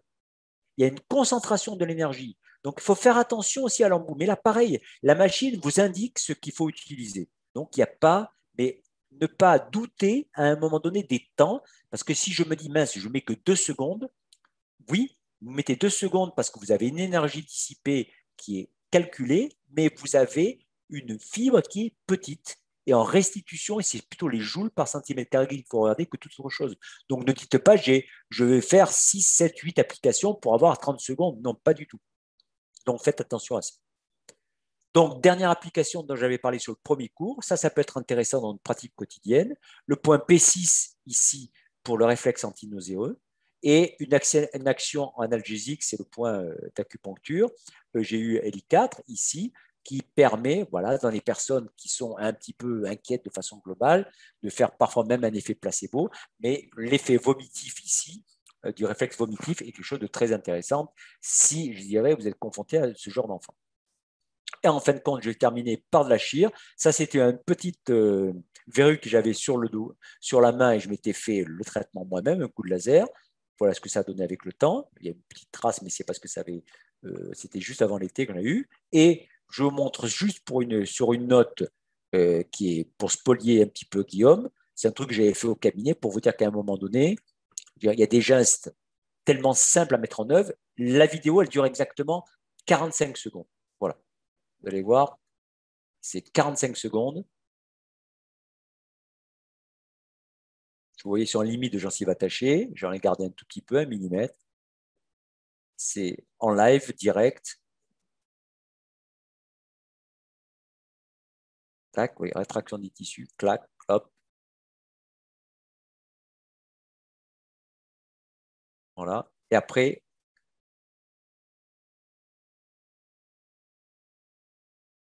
et c'est fait. Et voilà. Et là, vous pouvez coller. 45 secondes. Vous expliquez, c'est presque plus long d'expliquer aux parents ce que va être le geste, presque plus long d'anesthésie, entre guillemets. Et là, vous collez directement. Vous voyez, il n'y a pas, vous faites ça à la lame froide. Vous êtes en train de mettre la, compresse et d'attendre, je dirais, en demandant au gosse d'appuyer dessus le temps que ça coagule un tout petit peu pour coller dans les meilleures conditions. Voilà ce que j'avais à vous dire.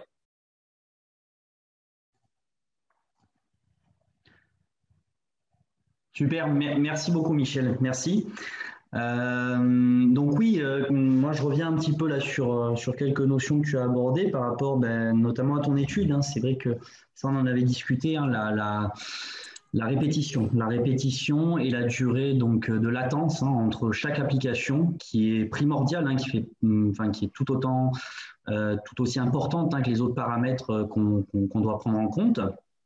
Euh, donc c'est vrai que dans, dans, les, dans, les, dans les cas de ton étude, comme tu le dis, euh, et tu as tout à fait raison, hein, il faut savoir un petit peu raison garder et voir euh, ben, la plus-value hein, qu'on va avoir par rapport aux, effets escomptés. Donc c'est vrai qu'on ne va pas demander à tous les enfants de revenir tous les trois jours. effectivement, ça serait totalement ingérable. donc après, ben, il faut voir effectivement dans quel cas de figure tu, peux, vraiment avoir une plus-value. Voilà. Au-delà de ça, euh, c'est vrai que si on utilise vraiment une, on va dire une temporalité euh, un peu plus restreinte hein, au niveau des applications, euh, moi je suis, j'en mettrais presque ma main au feu, hein, qu'on aurait de meilleurs résultats. Hein. si par exemple on, avait un plan de traitement de d'illumination tous les trois jours euh, pendant, euh, pendant trois semaines, par exemple, on aurait vraiment quelque chose de probant. En tout cas, moi, c'est ce que j'ai pu voir euh, dans d'autres domaines, hein, en dermato en, ou en physiothérapie, hein, où vraiment là, on a des protocoles qui ont été un petit peu plus affinés, parce qu'il n'y a peut-être pas aussi ce problème voilà, de, de, la fréquentation du cabinet avec tous les gosses qui doivent venir. Donc, c'est c'est voilà, pas, pas la même approche. Quoi. Voilà. Euh, ensuite, je voulais très, très, brièvement, hein, par rapport, donc tu, parlais de l'effet anti-inflammatoire. Euh, c'est vrai que on a, souvent l'habitude de dire anti-inflammatoire. Moi, je préfère parler d'accélérateur temporel de, temporel de l'inflammation. J'étais habitué hein, à dire euh, anti-inflammatoire, hein, puisque c'est vrai que ça, c'est plus facile en fait. Enfin, on, a, on plus l'habitude de ce terme-là, euh, mais il est vrai que la biomodulation, c'est vraiment un accélérateur temporel de l'inflammation. Donc, ça ne vient pas parasiter du tout le phénomène inflammatoire, euh, mais ça vient raccourcir dans le temps. Euh, voilà. Euh, et dernière chose, donc c'était par rapport donc à ton étude sur la douleur. Donc toi en fait, si, je si je comprends bien, ton étude en fait, elle se centrait sur l'utilisation exclusive de la 635 dans le dans la gestion de la douleur.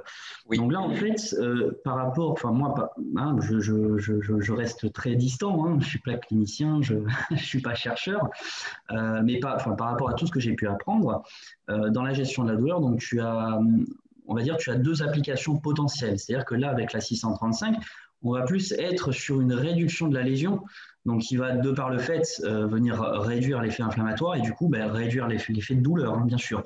Euh, l'autre, d'un autre côté, on, aurait, on pourrait avoir un effet antidouleur avec la 980 nanomètres, comme on en avait déjà discuté, bien évidemment, euh, qui est là un effet très différent, puisque là, on va venir en fait inhiber un influx nerveux. Hein, on va venir inhiber, donc couper vraiment une information pour avoir un résultat beaucoup plus, beaucoup plus rapide, hein, quasiment instantané. Hein. Moi, en tout cas, par, rapport au recul que je peux en avoir, enfin par rapport au, retour d'utilisateur que je peux en avoir, euh, avec le 980, on a vraiment un effet rapide. Avec la 635, on a un effet diffus, puisque comme tu le disais, on a euh, ben, avec la loi de Harn-Schultz, on fait appel au respect du temps biologique puisqu'on agit au niveau nanoscopique. Euh, cet effet qu'on va entraîner, qu'on va induire, euh, va amener à des interactions qui vont se diffuser, qui vont arriver donc à l'échelle euh, microscopique, physiologique. Donc tout ça, ça prend du temps. Voilà, donc c'était juste les, petites, les petits ajouts que je voulais faire. Voilà. Oui, euh, c'est certain que là, nous, étant donné que la douleur n'apparaît, vous avez vu quand même, ça apparaît euh, au maximum entre 1 et 6 heures, euh, et jusqu'à 24 heures pour certains, avoir un effet immédiat antidouloureux, ça, pourrait, ça ne pourrait correspondre que qu'à, on a vu 6%, même ce qu'on met immédiatement, il y a 3% qu'on met immédiatement, quoi, toi, et encore, c'est 3%, mmh. c'est euh, ils, ont, ils, ont, mal immédiatement. Après, des fois, ils ont plus mal après. Quoi. Ils ont mal sur le moment et cinq minutes après, ils ont plus mal. Donc, euh, voilà. Mm. C'est pour ça que là, sous cet angle-là que ça a été fait. Quoi. Super. Euh, voilà, bon, ben merci encore, hein, Michel. Super. Alors après, c'est vrai que j'ai été, c'est toujours parce que il y a Eric Girard qui est un copain qui dit merci Michel pour cet exposé au-delà de l'utilisation du laser. C'est certain que c'est ma déformation un peu d'enseignant, c'est-à-dire que je ne peux pas donner d'informations. C'est un, un, tort, un travers, c'est ce que vous voulez, mais c'est comme ça. Je veux que ça soit un peu plus large dans l'information pour tenir les, les tenants, les aboutissants, que chacun s'informe et qu'on est. Je ne vais pas dire que j'étais exhaustif complet, mais voilà, qu'on soit un peu plus précis dans, dans les explications. Bah, c'est indispensable de comprendre les processus, hein, de toute façon. Euh, si, on n'a pas cette approche un petit peu plus large, un petit peu plus globale, euh, euh, voilà, essayer de comprendre au cas par cas en fait l'effet qu'on va avoir, ça n'a pas vraiment de sens. C'est plus intéressant de, de, se dire que voilà, par rapport, je sais pas, à un traitement d'herpès, on va on, va faire appel à l'effet de ben, d'accélération de la microcirculation, d'amélioration de l'activité immunitaire. Donc forcément, ben, on aura euh, cette, réduction, euh, cette réduction de l'herpès. Voilà. Tout à fait. Dans le cabinet, pour revenir à ça, l'herpès, un de mes associés euh, il y a un herpétique récurrent, on va dire. Il y a souvent, lui, alors il est un, adepte de ça. On a un des associés qui prend le faisceau large, je vous ai montré parce qu'il a des douleurs euh, au niveau de l'épaule, au niveau de ici. Et une des assistantes avait des névralgies faciales, j'en ai pas parlé, et elle était adepte de ça aussi. Oui, donc euh, on s'en servait pour toute autre chose. Voilà. Et des personnes qui arrivaient des fois avec un herpès au cabinet, on leur faisait on leur faisait parce que c'est un confort de travail pour nous. Et puis, elles étaient contentes que, ça soit amélioré. Vous voyez Alors, après, je ne sais pas si vous avez parlé de cotation parce que c'est apparu, mais on, ne cote pas ça. On est bien sûr, on est d'accord que dans le cabinet, ce n'est pas quelque chose que l'on cote. Voilà. C'est un service rendu non coté. C'est pas, voilà, c'est pas, voilà, on est bien d'accord qu'on va pas faire de la discrimination en disant vous voulez un traitement non douloureux ou avec biomodulation qui améliore. Non, non, c'est pas du tout comme ça. Voilà, parce que cette question, elle peut revenir. Et une question d'Éric Girard aussi, et, affichage obligatoire sur l'utilisation de laser pour les salariés. Oui, parce que les salariés, c'est pas un affichage. L'affichage, il y est. Vous allez dans un, dans un cabinet, c'est marqué qu'il y a un laser. Mais c'est une question d'information et de formation. Voilà de la même manière que quand on utilise la lampe à photopolymériser, si vous avez l'assistante à côté, elle doit avoir une paire de lunettes. C'est une question de, médecine du travail. Ça, un jour, je dirais, un problème de cécité partielle. Vous allez dire, mais vous êtes dans quel cas de cabinet? Il y a des lasers, oui. Vous avez des lunettes, jamais. Ben, voilà. le mec ah, en médecine du travail qui vient, qui se prend le, pavé sur le pied avec des chaussures qui ne sont pas des chaussures de sécurité. C'est aussi basique que ça. C'est une question de médecine du travail. Et si la médecine du travail vient vous contrôler au cabinet, il va falloir que vous prouviez que vous avez l'étiquetage mm. et que vous avez les, lunettes et le nombre de lunettes pour avoir une pour le praticien, une pour le patient et une pour les assistantes qui sont autour. Mm. c'est toujours pareil. quoi. C'est du bon sens global. Comme j'en ai, je l'ai survolé en préambule, mais, mais c'est une chose essentielle. Absolument, Et alors, euh, je réponds au fur et à mesure parce que je vois les questions. C'est pas Quid du nettoyage des infections des embouts? Alors, les embouts, ils sont stérilisables à froid. Je vous rappelle qu'ils sont clipsés par aimantation partielle, quoi, un petit, aimant. Donc on les enlève et on les, comme tout, en bout de, euh, de, de, lampe à photopolymériser. C'est la même chose, c'est la même gestion. Voilà. Et alors, la différence près, ça c'est pour le laser, mais je vous rappelle, euh, je n'ai pas fait de vidéo là-dessus, mais c'est que nous, comme pour les aspirations ou certains embouts de lampes à photopénaliser, on met un cache plastique par de, vous voyez, on met pas un cache plastique, mais on met, un, mais compris une enveloppe, une protection plastique. Une gaine, une gaine, voilà, une gaine, voilà, chercher le, le mot euh, approprié.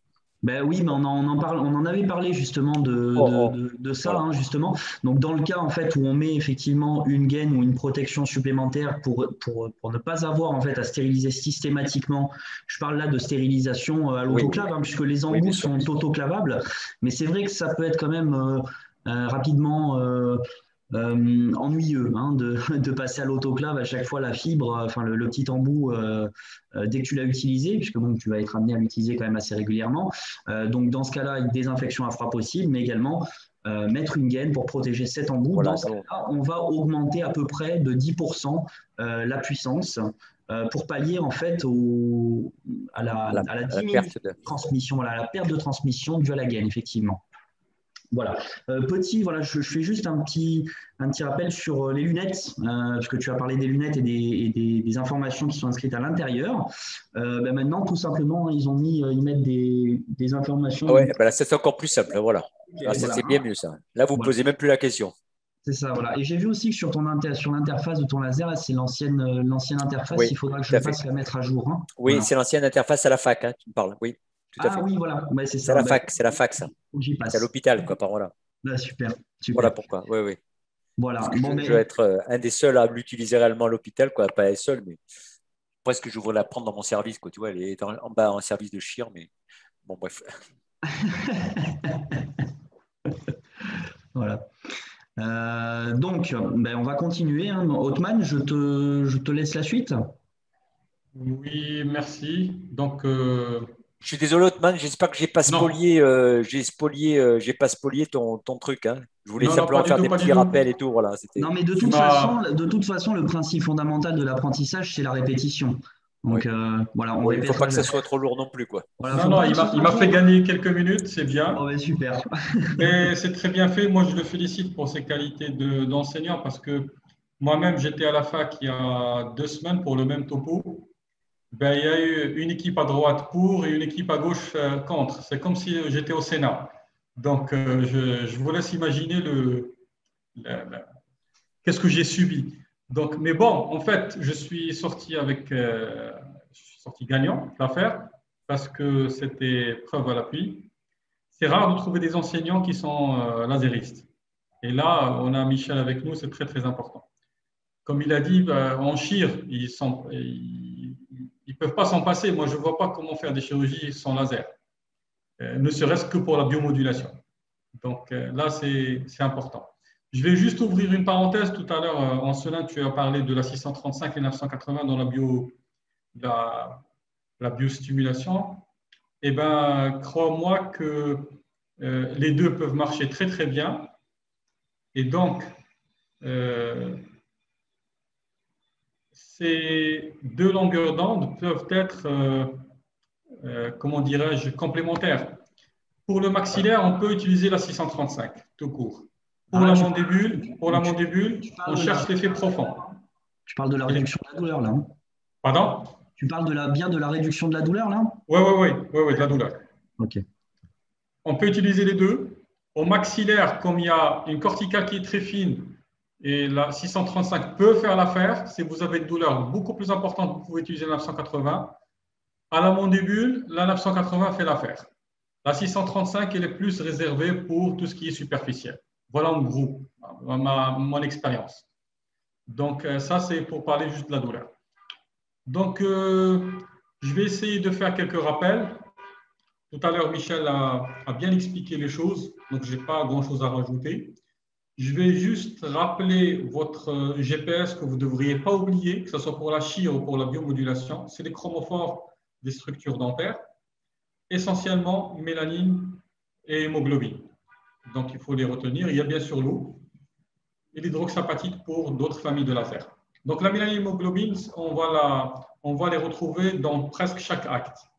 L'eau, bien sûr, mais il est accessoire mais essentiellement, c'est la mélanine et l'hémoglobine. Donc, il faut toujours savoir où est-ce qu'on travaille, euh, quelles sont les longueurs d'onde absorbées, quelle est la meilleure onde absorbée par ces chromophores pour avoir un résultat qui est optimal. Je dois aussi vous rappeler que la notion de chaleur est très importante. Pourquoi? Parce que vous utilisez l'énergie photonique. L'énergie photonique, elle véhicule de la chaleur. Et donc, il faut avoir toujours en tête qu'entre 40 et 50 degrés, vous êtes à l'hyperthermie. À 60 degrés, vous coagulez ou vous dénaturez. À 70 degrés, 90 degrés, vous êtes à la vasodilatation. À 100 degrés, vous vaporisez. Et à 200, vous carbonisez. Donc, il faut toujours avoir en tête la notion de chaleur pour ne pas chauffer les structures sous-jacentes, notamment l'os, euh, la pulpe. Donc, ça, c'est très important. Donc, méfiez-vous de la chaleur. Je vais rappeler qu'on qu'on utilise de la puissance. Elle est toujours euh, donnée en watts pour tout ce qui est chirurgical, essentiellement la 980. Mais rappelez-vous, quand, on fait euh, de la biomodulation euh, comme Michel vient de le montrer avec la 635, les données sont données en milliwatts. Donc, on n'a plus besoin de watts parce qu'on n'est plus dans l'ablatif, on est plus dans la stimulation. Donc, ça, c'est un, un, effet qui est très, très important. On parle de milliwatts. Pour ceux qui ont des lasers en dehors du laser Lasotronics, où ils n'ont pas cette 635 qui est la lumière rouge, et qui ont une lumière proche de l'infrarouge et qui est euh, définie par watts, vous devriez utiliser des 0.1, 0.2 ou 0.3 watts. Le 1 watt, c'est le grand maximum. Donc ça, il faut le mettre en, tête. Vous avez l'énergie qui est délivrée en joules tout le temps.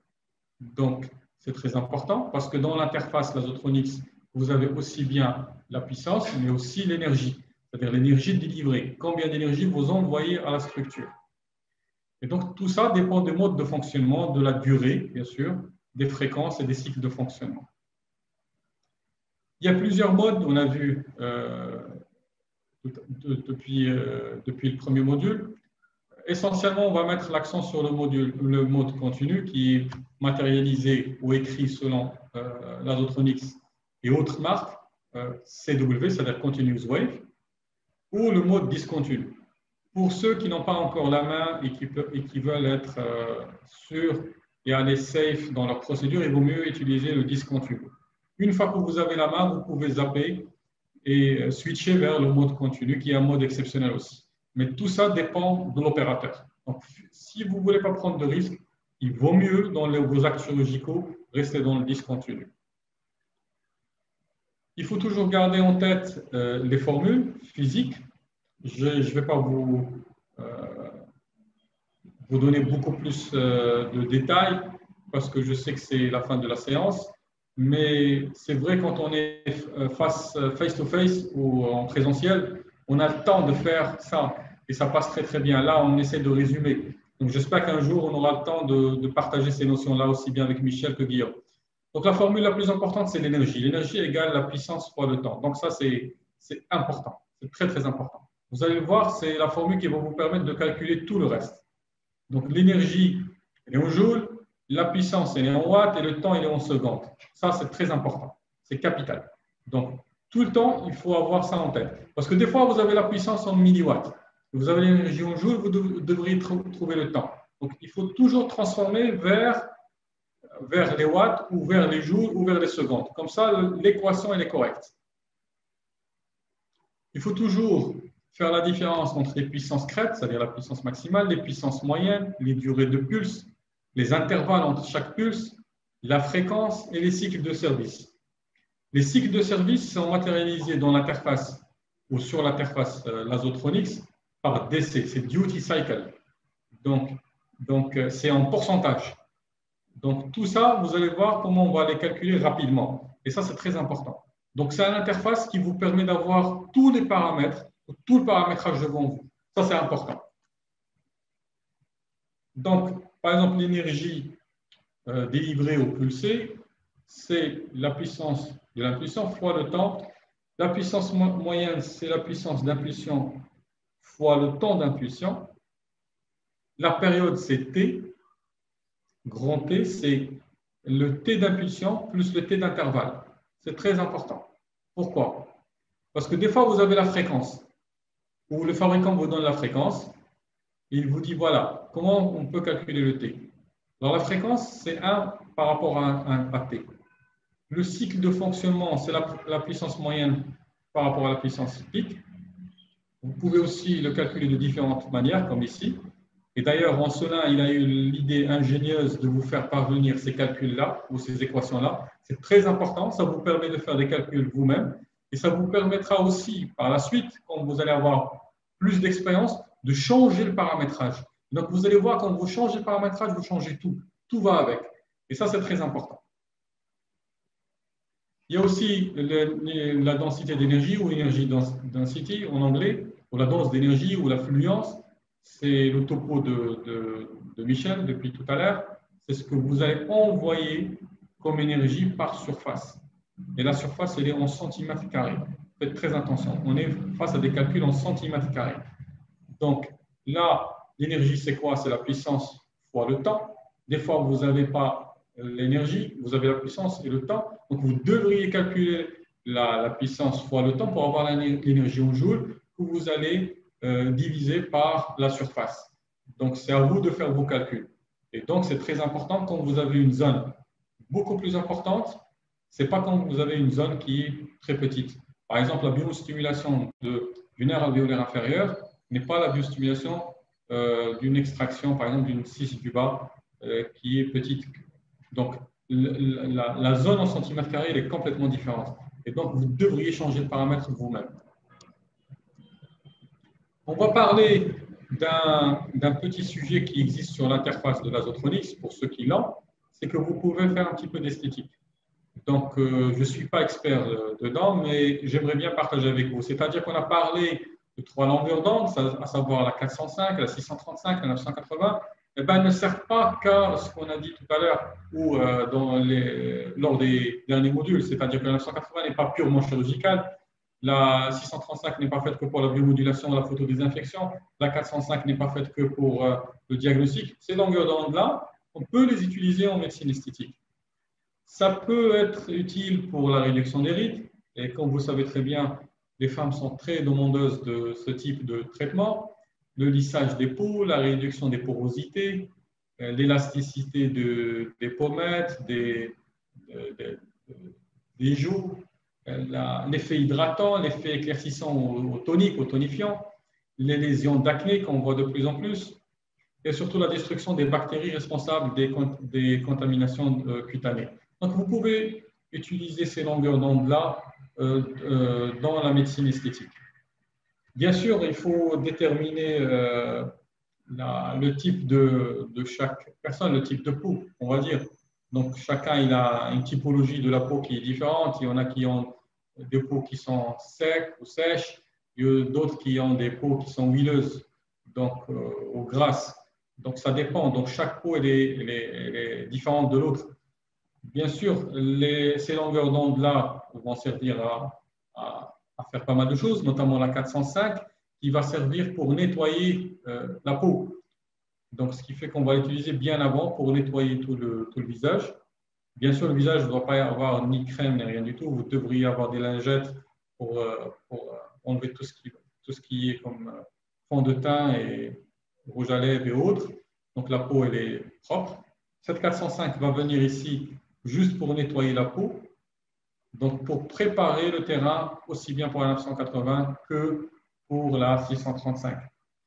Donc dans l'interface en haut à droite, vous allez trouver Aesthetic Medicine ou la, médecine esthétique. Donc c'est une interface qui est déjà prête. Pour ceux qui ont l'update ou la mise à jour, donc ils peuvent juste cliquer dessus et ils vont avoir euh, l'interface qui s'ouvre. La 980, on va l'utiliser bien sûr. On peut utiliser aussi l'applicateur euh, du, blanchiment et on peut utiliser l'applicateur de 18 mm. Vous voyez ici donc l'interface quand il s'ouvre de la 980, vous avez skin warming, c'est-à-dire l'échauffement de, la, de la peau. Vous pouvez chauffer la peau, comme ici par exemple avec la pièce à main de blanchiment, avec une certaine distance de 3 mm par rapport euh, ou pardon, de 1 cm par rapport au front ou à la joue ou autre. Donc, vous pouvez chauffer pour augmenter l'élasticité de, de, de, la peau. Ici, on peut utiliser l'embout de 18 mm. Donc, vous pouvez éliminer les rides vous pouvez rendre la peau plus élastique. Donc, la 980 sert aussi dans l'esthétique. Voilà l'embout de 18 mm. Vous pouvez utiliser 3 mm par exemple sur le front, 3 mm sur la joue droite, 3, mm, 3, pardon, 3 minutes sur le front, 3 minutes sur la joue droite et 3 minutes sur la joue gauche. Donc, vous pouvez refaire ça deux fois, trois fois par semaine, il n'y a aucun problème. Pour la 635, vous pouvez l'utiliser aussi. Donc, vous avez votre applicateur. Cette 635, elle va nous envoyer de, la lumière. Donc, elle va aussi biostimuler ou stimuler la, la cicatrisation. Donc, on peut l'utiliser de la même manière, 3 minutes sur le front, 3 minutes sur la joue droite, 3 minutes sur la joue gauche. Et donc, vous allez avoir un effet tonifiant de, de, la, de, la, de toute la face. Au bout de 9 minutes à peu près, vous allez avoir euh, ce qu'on appelle un effet tonifiant immédiat. D'ailleurs, même en médecine euh, esthétique, chez les martiaux, ils utilisent des lumières laser rouges. Et donc, la 635, elle est rouge. Donc, vous pouvez euh, l'utiliser en toute sécurité. Voilà, donc euh, c'est tout ce que j'avais à partager avec vous. Euh, donc euh, aujourd'hui, c'était le résumé et cette interface d'esthétique. Donc je vais céder la parole à Ancelin pour, pour clore cette session. Voilà. S'il y a des questions, je suis prêt. Merci Otman. Alors, bien évidemment, hein, dans les applications orthodontiques, hein, on ne va pas venir traiter les rides au niveau du front. Hein, c'est, ouais. Par contre, donc, euh, euh, euh, c'est, ce qui est très intéressant, c'est qu'on peut aussi l'utiliser pour nous-mêmes et pour nos proches. Alors ça, c'est, quelque chose qui, plaît pas mal. Hein. mais par ailleurs, il y a également le module de physiothérapie qui est utilisable pour, le, pour l'opérateur dans le cas de douleur, canal carpien, douleur articulaire. Hein. donc ça peut toujours être intéressant. Voilà, ça, ça sort hein, bien évidemment du champ de l'ortho. mais de toute façon, on n'a pas que des orthodontistes hein, qui vont voir cette vidéo. Hein. on a un petit peu tous les, toutes les spécialités. Hein. Euh, donc c'est toujours intéressant voilà, d'aller un petit peu plus loin et de voir, euh, euh, de voir un petit peu plus large sur le, sur le potentiel d'action. Voilà. donc merci encore, merci Hotman. merci. et puis merci bah, pour, pour ta présence pendant, pendant tout ça. Pas de souci. Voilà. Avec plaisir. Un grand plaisir. J'espère qu'on aura un jour le, la, la chance de partager avec eux en direct, en face-to-face. Ah, ben ça, de toute façon, on essaiera de le mettre en place dès que possible. Hein, euh, c'est beaucoup plus intéressant. Ah, ben ça, c'est clair. De toute façon, c'est toujours mieux d'être en ah, présence. Ben, c'est certain, parce que là, tout ce qu'on peut montrer en vidéo et tout, ça aurait été, euh, ça aurait été torché rapidement. En plus, tous les gens auraient pu manier l'outil, c'était simple. Quoi. Non, puis on aurait peut-être pu faire aussi un traitement de ride en direct. Oui, oui, oui. ça marche. et si quelqu'un avait un herpès ou n'importe quoi, ou une petite douleur euh, de, n'importe quoi, une petite névralgie, quoi, toutes les petites euh, comme ça euh, problématiques, on aurait pu les tester immédiatement. Oui, ouais. parce que c'est vrai que c'est toujours intéressant et ben de, de, de, voir les effets immédiats parce que c'est assez bluffant au niveau esthétique. Hein, de, en fait, les effets sont vraiment immédiats, quoi. C'est bluffant. moi, pour la, pour, la petite, euh, pour la petite anecdote, je travaille euh, euh, en étroite collaboration avec le docteur Michel Pelletier, qui est une dermato-esthétique qui est à Toulon. Et donc, elle fait, des, traitements en esthétique hein, depuis 30 ans avec la, biomodulation. Et ces cas cliniques sont assez fantastiques. Quoi. À l'occasion, hein, je te montrerai quelques, quelques cas, tu seras bluffé. Quoi. Voilà. Ça fait, oui, oui, ben, absolument, hein, docteur, ça fait pousser les cheveux ça fait pousser les cheveux. Euh, alors, euh, pour la pousse des cheveux, en fait, donc on va, on va combiner ça. Euh, moi, je vous, je vous donne, hein, je, vous, je, vous, donne mon information par rapport à ce que j'ai pu voir avec, bah, avec le docteur Michel Pelletier ou avec le docteur Linda Fouque aussi, qui est à Nice et qui fait énormément de, énormément de publications. pour la repousse du cheveu, c'est très très efficace. par contre, donc on va pas l'utiliser seul. C'est-à-dire qu'on va combiner ça avec avec avec du. Alors, comment ça s'appelle déjà? Euh, La mésothérapie, je crois. Hein. Euh, voilà l'utilisation donc euh, ben, en fait donc hein, créer une relancer l'inflammation en fait hein. on va relancer l'inflammation au niveau du bulbe hein, pour stimuler euh, l'activité physiologique. Et ensuite bon en fait ça va augmenter le potentiel d'absorption énergétique du tissu en relançant l'inflammation. Et c'est par ailleurs euh, ce que tu disais tout à l'heure par rapport à, au traitement d'une lésion on, augmente ce potentiel d'absorption voilà.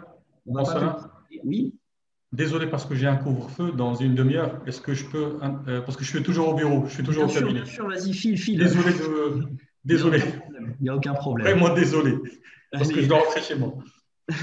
à bientôt, Ekman. Merci beaucoup. Hein. Salut, salut. Au revoir. Voilà, Bob et Guillaume, allez, on te laisse la parole. On va pas, on va pas s'étendre plus, plus avant sur le sujet. Mais voilà, si, si même. Euh, vous avez la moindre question par rapport à, quelque application que ce soit, même que ça sort de, votre champ de, compétences, il n'y a pas de problème. Hein. voilà, je me ferai un plaisir de vous orienter euh, euh, vers, vers les, personnes, euh, les personnes compétentes. Voilà. Merci. Alors, pour, pour répéter également ce qu'on a, a dit à travers les différents modules, j'ai fait un petit récap sur, sur ma partie, sur l'intérêt dans la chirurgie invasive en orthodontie. Alors d'abord, ce qui est, très intéressant, on l'a vu à plusieurs reprises, notamment ce soir, c'est l'intérêt d'avoir une machine qui, effectivement a un champ d'utilisation et d'application qui dépasse largement euh, le cabinet d'orthodontie. On va pouvoir l'accrocher derrière la voiture pour partir en vacances. Pour ce qui concerne la chirurgie et son intérêt dans l'orthodontie, on va utiliser uniquement donc, le 980 nanomètres, qui a une action de surface et qui est en mode ablatif. Donc, euh, comme l'a rappelé Michel, en fait, ce qui est très bien sur cette bécane, c'est qu'effectivement, les modes sont, pré-réglés. Donc, la partie du 980 nanomètres est, bien, identifiée ici euh, par ce rectangle blanc où il y a écrit 980 nanomètres. Donc, ce qui évite, euh, là encore, donc, comme l'a dit Othman, c'est important de connaître plein de choses sur le laser. Mais après, quand on est en clinique, c'est plus agréable de pouvoir se fier directement aux programmes qui sont, qui sont installés dans la bécane et qui permettent de ne pas se prendre les pieds dans le tapis. Euh, on l'a dit euh, à maintes reprises, mais en fait, le, laser, il faut qu'il soit à disposition dans le cabinet d'orthodontie, parce qu'à tout moment dans la journée, il peut y avoir une petite hyperplasie gingivale qui empêche de recoller le dans de bonnes conditions, parce qu'on veut faire de la biomodulation, ou parce qu'on a programmé un acte chirurgical euh, lors de, notre journée de travail. Et l'intérêt du laser, c'est qu'en fait, on va avoir beaucoup moins besoin d'instruments, puisqu'il n'y a pas besoin d'aller sortir euh, tout ce qui est suture euh, et toute la série de, la panoplie chirurgicale. Ça va réduire grandement le, matériel, à condition bien sûr de respecter euh, les protocoles, et notamment sur les dents incluses, sur les zones vestibulaires, de bien connaître les notions de gencives attachées, gencives attachées kératinisées, de ligne muco-gingivale et de voir comment on va appréhender les dents incluses, parce qu'il ne s'agit pas uniquement de faire des trous. il faut le faire à bon escient mais quand c'est bien adapté, ben, ça permet d'avoir peu d'instruments. Les grands avantages, les avantages du, laser, c'est de garder la stérilité pendant l'acte. Et puis pour nous, en orthodontie, évidemment, d'avoir une, réduction, voire une absence de saignement. On fait toujours du, de la chirurgie et collage. Et donc là, c'est quand même un point, un point principal euh, pour l'intérêt en orthodontie. Évidemment, l'absence de suture. Et puis ce que disait Michel, l'absence d'une réduction de douleur et des cicatrices on peut tout à fait, comme on l'a dit à maintes reprises, associer cet axe chirurgical de 980 nanomètres avec une biomodulation à 635 en fin d'acte pour réduire la douleur chez le patient. Pour la tarification, alors c'est un peu compliqué parce que nous, on, va, coter uniquement des semestres. Donc je vous dis comment je fais, après vous faites comme vous voulez. Euh, on, a, comme habitude de, facturer 50 euros de plus par semestre quand il y a un acte euh, au laser. Euh, alors, des fois, on ne l'a pas prévu au tout départ. Donc, à ce moment-là, on va utiliser le laser comme un, auxiliaire de traitement sans forcément dire Ah ben, au fait, le semestre, on va vous l'augmenter parce qu'on a sorti le laser. Enfin, moi, je n'ai pas l'habitude de faire ça. Donc, soit c'est prévu au tout départ du traitement et on fait un semestre un peu plus élevé, soit c'est pas prévu. Et ben finalement, il y a des choses des fois qui ne sont pas prévues dans un traitement. On rajoute un appareillage et ça fait vraiment partie du plateau technique. Et, et de, faire en sorte de pouvoir euh, offrir à nos patients qui viennent dans nos cabinets ben, cette possibilité en plus. Donc ça a un effet, euh, une augmentation de plateau technique et des possibilités que vous avez pour vos traitements. Quand c'est un acte isolé, c'est un peu différent parce que des fois j'ai des orthos qui m'adressent pour des, des frénectomies du frein de langue ou, ou une, une, frénectomie de frein médian. Donc à ce moment-là, on fait une entente directe, on fait un devis pour le, pour le patient. Euh, voilà. Et puis, bah, il faut bien quand même comprendre que c'est sûr que quand on achète un laser, c'est assez coûteux et que c'est toujours compliqué d'aller calculer la rentabilité euh, d'un investissement de, ce type d'appareillage. Mais il faut plutôt voir ça comme quelque chose d'investissement long terme et puis une grande aide pour euh, à certains, à plein, de, moments sur, sur, toutes les situations cliniques qu'on a pu détailler dans les, dans les modules précédents et une notion de, de plus-value en fait pour votre cabinet. Euh, en cela, m'a fait passer ça. Donc, nous, on n'utilise pas la CCM en orthodontie, mais dans la CCM, il y a des codifications. Donc, on vous les fera passer. Il y a quand même des codifications de tarification qui sont très basses, à mon avis, euh, pour, euh, pour l'utilisation du laser. Ça existe en tout cas. Après, donc, sur les indications, juste pour faire un rappel rapide, essentiellement, donc, c'est ces trois indications, c'est-à-dire les gingivectomies, les frénectomies de frein médian et les freins de langue et euh, l'intérêt dans les dents incluses ou les dents retenues euh, au service de l'orthodontie. Donc là, en gingivectomie, on va utiliser une puissance maximale de 3 watts avec le, module qui est déjà prévu, qui va nous donner en moyenne, donc les 3 watts c'est en crête, l'utilisation, la, puissance moyenne c'est 1,5 watts. Et en fait, on va utiliser, moi je n'utilise pas le mode continu, je pourrais commencer à l'utiliser maintenant que j'ai un peu plus d'habitude de la machine. Et je garde ce mode pulsé qui, me rassure. C'est tout psychologique parce qu'évidemment, euh, j'aurais pu commencer à toucher tous les réglages, je ne l'ai pas fait. Et je suis resté sur ce mode pulsé qui permet euh, normalement d'avoir moins d'émissions de chaleur et de prendre moins de risques, surtout quand on se, se rapproche des dents, pour pas qu'il y ait de problème pulpaire.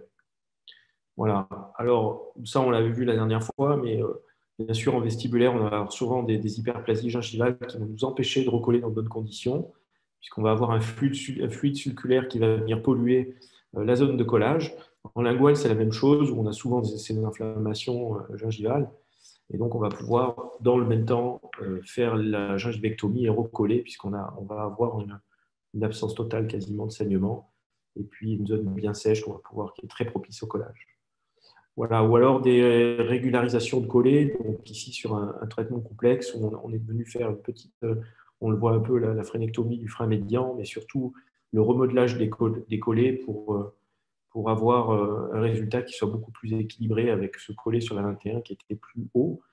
Alors, dans certains cas, suivant l'indication, ça peut être bien sûr une greffe sur 21, mais là, il faut savoir où est la, la ligne, la jonction émaillement et puis euh, ici, c'est un cas très propice pour la gingivectomie. Pourquoi? Parce qu'on a une, épaisseur de tissu de gencive attachée kératinisée qui est considérable.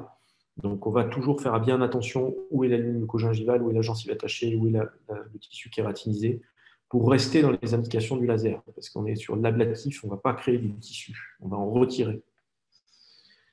Euh, les frénectomies, alors, dans les frénectomies, on, va euh, utiliser euh, ici, euh, pareil, le mode de la machine, mais que je vais réduire en fait ici. Moi, je réduis, pardon, la, machine, ma machine en tout cas, elle est programmée à 6 watts, donc je baisse un tout petit peu la puissance en frénectomie, je descends à 5 watts, et donc ce qui me fait une, puissance moyenne de 2,5 watts, pour pas avoir non plus trop d'échauffement. j'ai en tête l'enseignement que j'avais eu par le professeur Roca conseillant d'utiliser des puissances faibles parce que quand la puissance augmente, on va avoir une émission de chaleur qui va augmenter et donc on peut avoir des cicatrisations qui sont moins belles avec la carbonisation des tissus. Ce n'est pas ce qui est recherché. Donc aller trop vite, euh, je ne pense pas que ce soit la bonne voie euh, pour le, pour le laser. Donc voilà ici euh, une indication, même si le patient est jeune, normalement on préfère attendre la sortie des canines. L'insertion du frein a été très très très basse puisque en fait on va repérer qu'en zone palatine on a vient, le frein vient blanchir la, papille en zone palatine. Donc il y a quand même extrêmement beaucoup, beaucoup, beaucoup de chances qu'on ait besoin de le faire, même quand les dents définitives soient sorties. Donc voilà le résultat qu'on a eu sur, cette frénectomie. Donc l'intérêt quand même, c'est d'avoir une cicatrisation qui est parfois euh, vraiment aussi magnifique que ça, avec une réinsertion du frein, mais très au-dessus de la ligne mucogingivale. On n'a pas du tout l'impression d'être passé. Bien sûr, il ne faut pas se rapprocher du collet des dents pour pas prendre de risques au niveau de ces zones-là, bien sûr, rester à distance. voilà ce qu'on a, pu obtenir comme résultat. Et puis en tractant euh, la lèvre, on n'a plus du tout euh, la papille qui blanchit, un résultat qui est impeccable. Sur le, d'ailleurs, pour moi, franchement, quand je parle de ces indications, c'est vraiment sur un nombre de cas traités qui est quand même important et qui m'a montré que si c'était bien indiqué, à chaque fois, on avait des résultats super. Et je suis désolé de dire des fois que si l'indication est très bonne, comme sur les freins de langue ou sur les freins médians, euh, j'ai l'impression que les résultats sont meilleurs que ce qu'on peut faire avec des lames froides. Donc ici, on est en kyloglossie. Voilà le type de, cicatrisation qu'on peut avoir aussi, avec vraiment euh, l'impression de ne pas être passé. On va bien sûr associer la phrénectomie linguale à une rééducation qu'on fait très rapidement. En fait, le lendemain, on a déjà une, épithélialisation qui se passe dans la zone de la phrénectomie linguale et on va pouvoir réaliser l'étirement par les exercices d'orthophonie beaucoup plus rapidement que si, l'acte était plus agressif et plus douloureux. Donc c'est intéressant aussi. Sur les dents retenues et incluses, on a vu un panel important d'indications la dernière fois. Euh, là aussi, on va revenir sur l'utilisation en mode gingivectomie pour avoir une puissance moyenne délivrée d'un watt 5. Euh, j'ai travaillé longtemps, même avec une puissance inférieure à ça, ça fonctionne aussi. C'est un petit peu plus long, suivant l'épaisseur des tissus. on peut arriver à ces 1 watt 5. Donc maintenant, j'utilise un watt 5, c'est quasiment tout le temps. Euh, alors, c'est intéressant dans les dents incluses, quand vous avez, comme ici, eu la nécessité d'aller chercher, j'étais besoin d'aller chercher la dent très haut au fond de vestibule. Le problème ici, c'est que pour arriver à avoir l'hémostase, pour pouvoir coller dans de bonnes conditions cette canine, eh ben, le laser là, va nous apporter beaucoup parce qu'on va pouvoir volatiliser et retirer toute la zone du sac péricoronaire, tout ce qui est fibreux, réaliser l'hémostase et pouvoir coller. Vous voyez, même là, une fois que ça a été collé, on voit encore l'émail qui est parfaitement crayeux et qui a permis de faire un collage dans de très bonnes conditions. Donc dans ce cas-là, on a fait bien sûr une close d'éruption pour ne pas sortir la dent et, exposer la dent en muqueuse libre, ce qu'il ne faut absolument pas faire. Donc ici, il faut absolument refermer euh, ce site et faire une traction sous le, tapis muqueux, fibromuqueux, euh, idéalement même aux sorties des, quand on peut le faire dans les alvéoles des, des 53-63, c'est-à-dire j'essaie de faire passer la traction idéalement dans l'alvéole de la 53-63 qu'on peut on peut repasser avec un instrument pour aller faire passer la traction dedans. On a fait une petite, une gingivectomie ici, pardon, une phrénectomie du frein médian en, plus. Dans la même séance, on a fait les deux côtés.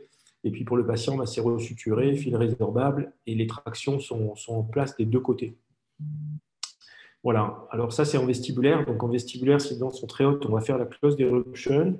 Et puis quand euh, les dents sont très proches, euh, sont en gencive attachée kératinisée ou très proches de la crête, et comme on, va l'avoir en palatin, puisqu'on est en fibromuqueuse euh, kératinisée, on va pouvoir faire à ce moment-là une operculisation, une exposition de, la dent euh, directement. Donc voilà l'acte opératoire. Dans la même séance, on va coller la 13, on va coller toutes les, les bagues et faire la petite fenêtre sur la, sur la 13. Donc là, on fait une ouverture qui est vraiment à minima euh, avec les, loupes et qui va permettre de, permettre de, coller le bouton donc pour le patient, c'est extrêmement confortable parce que ça n'a rien à voir avec un volet, euh, avec un lambeau palatin qui va souvent créer de l'hématome et des douleurs importantes en post-opératoire. Donc ici, on n'a quasiment aucune suite opératoire. Je pense qu'un petit doliprane va suffire pour l'histoire. Et puis, euh, évidemment, le fait de faire des expositions comme ça, tout petites, ben, on va avoir une cicatrisation qui, qui, va montrer souvent des dents qui n'ont pas eu l'impression d'être dégagées et désincluses. Euh, mais comme si elles étaient sorties elles-mêmes sur, sur l'arcade. Donc voilà, entre la 13 et la 23, on voit aucune différence et il n'y a pas de cicatrice quand on fait des choses comme ça. donc c'est particulièrement confortable, très intéressant. Voilà le résultat.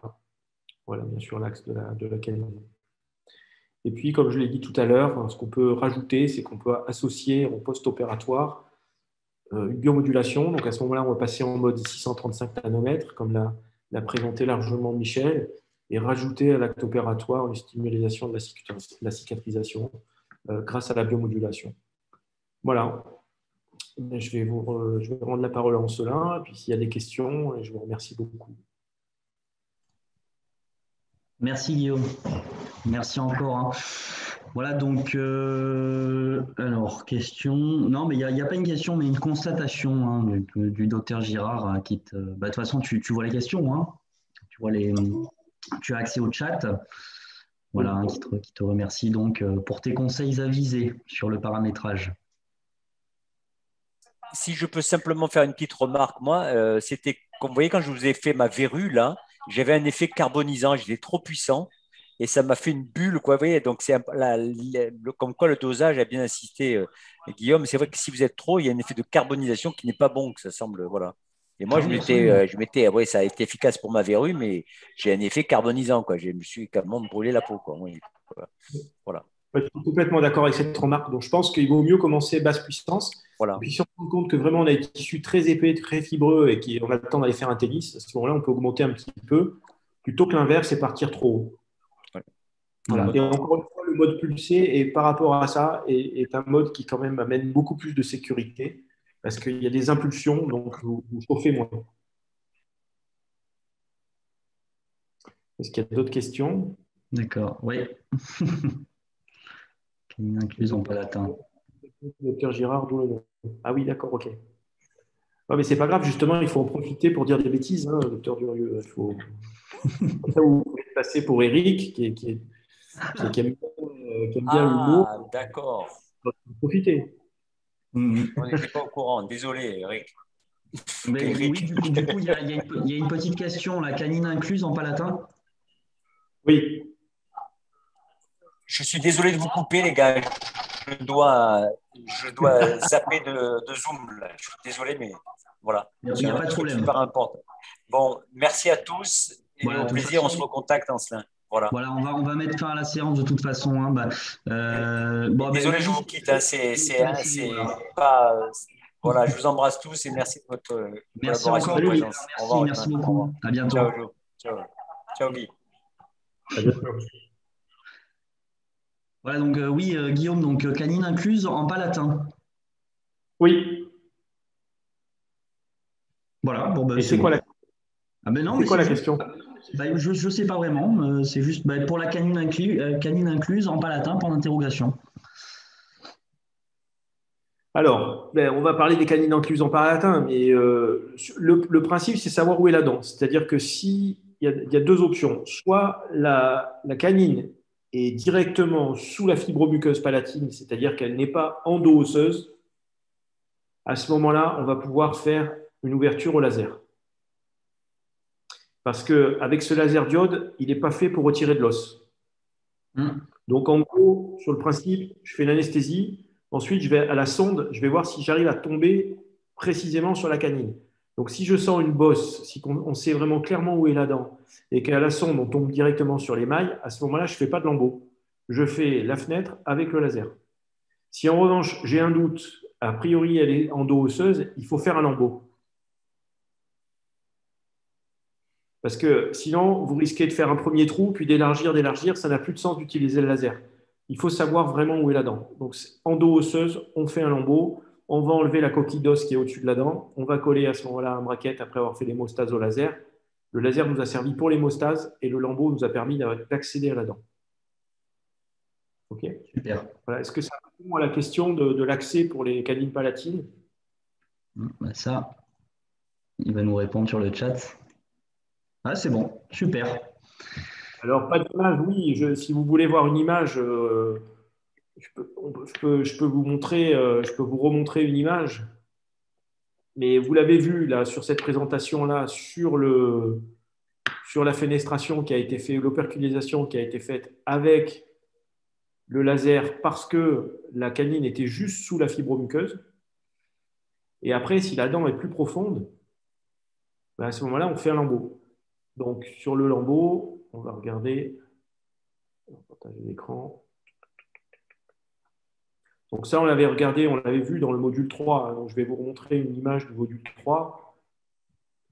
Mais euh, tout simplement, on va faire un, lambeau d'hémipalatin.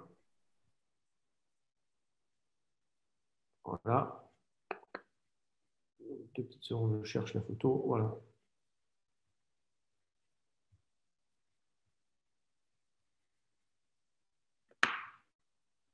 Voilà, donc ici, alors Ici, on imagine que la dent soit recouverte de pellicule d'os, c'est-à-dire si je, sais qu'il y a de l'os, je vais faire un lambeau comme ça.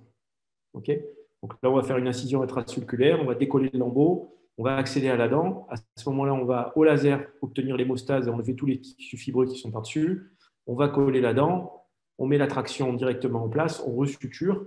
Et le laser nous a servi, dans ce cas-là, uniquement à accéder, à obtenir l'hémostase. Mais c'est un lambeau d'accès qui est fait.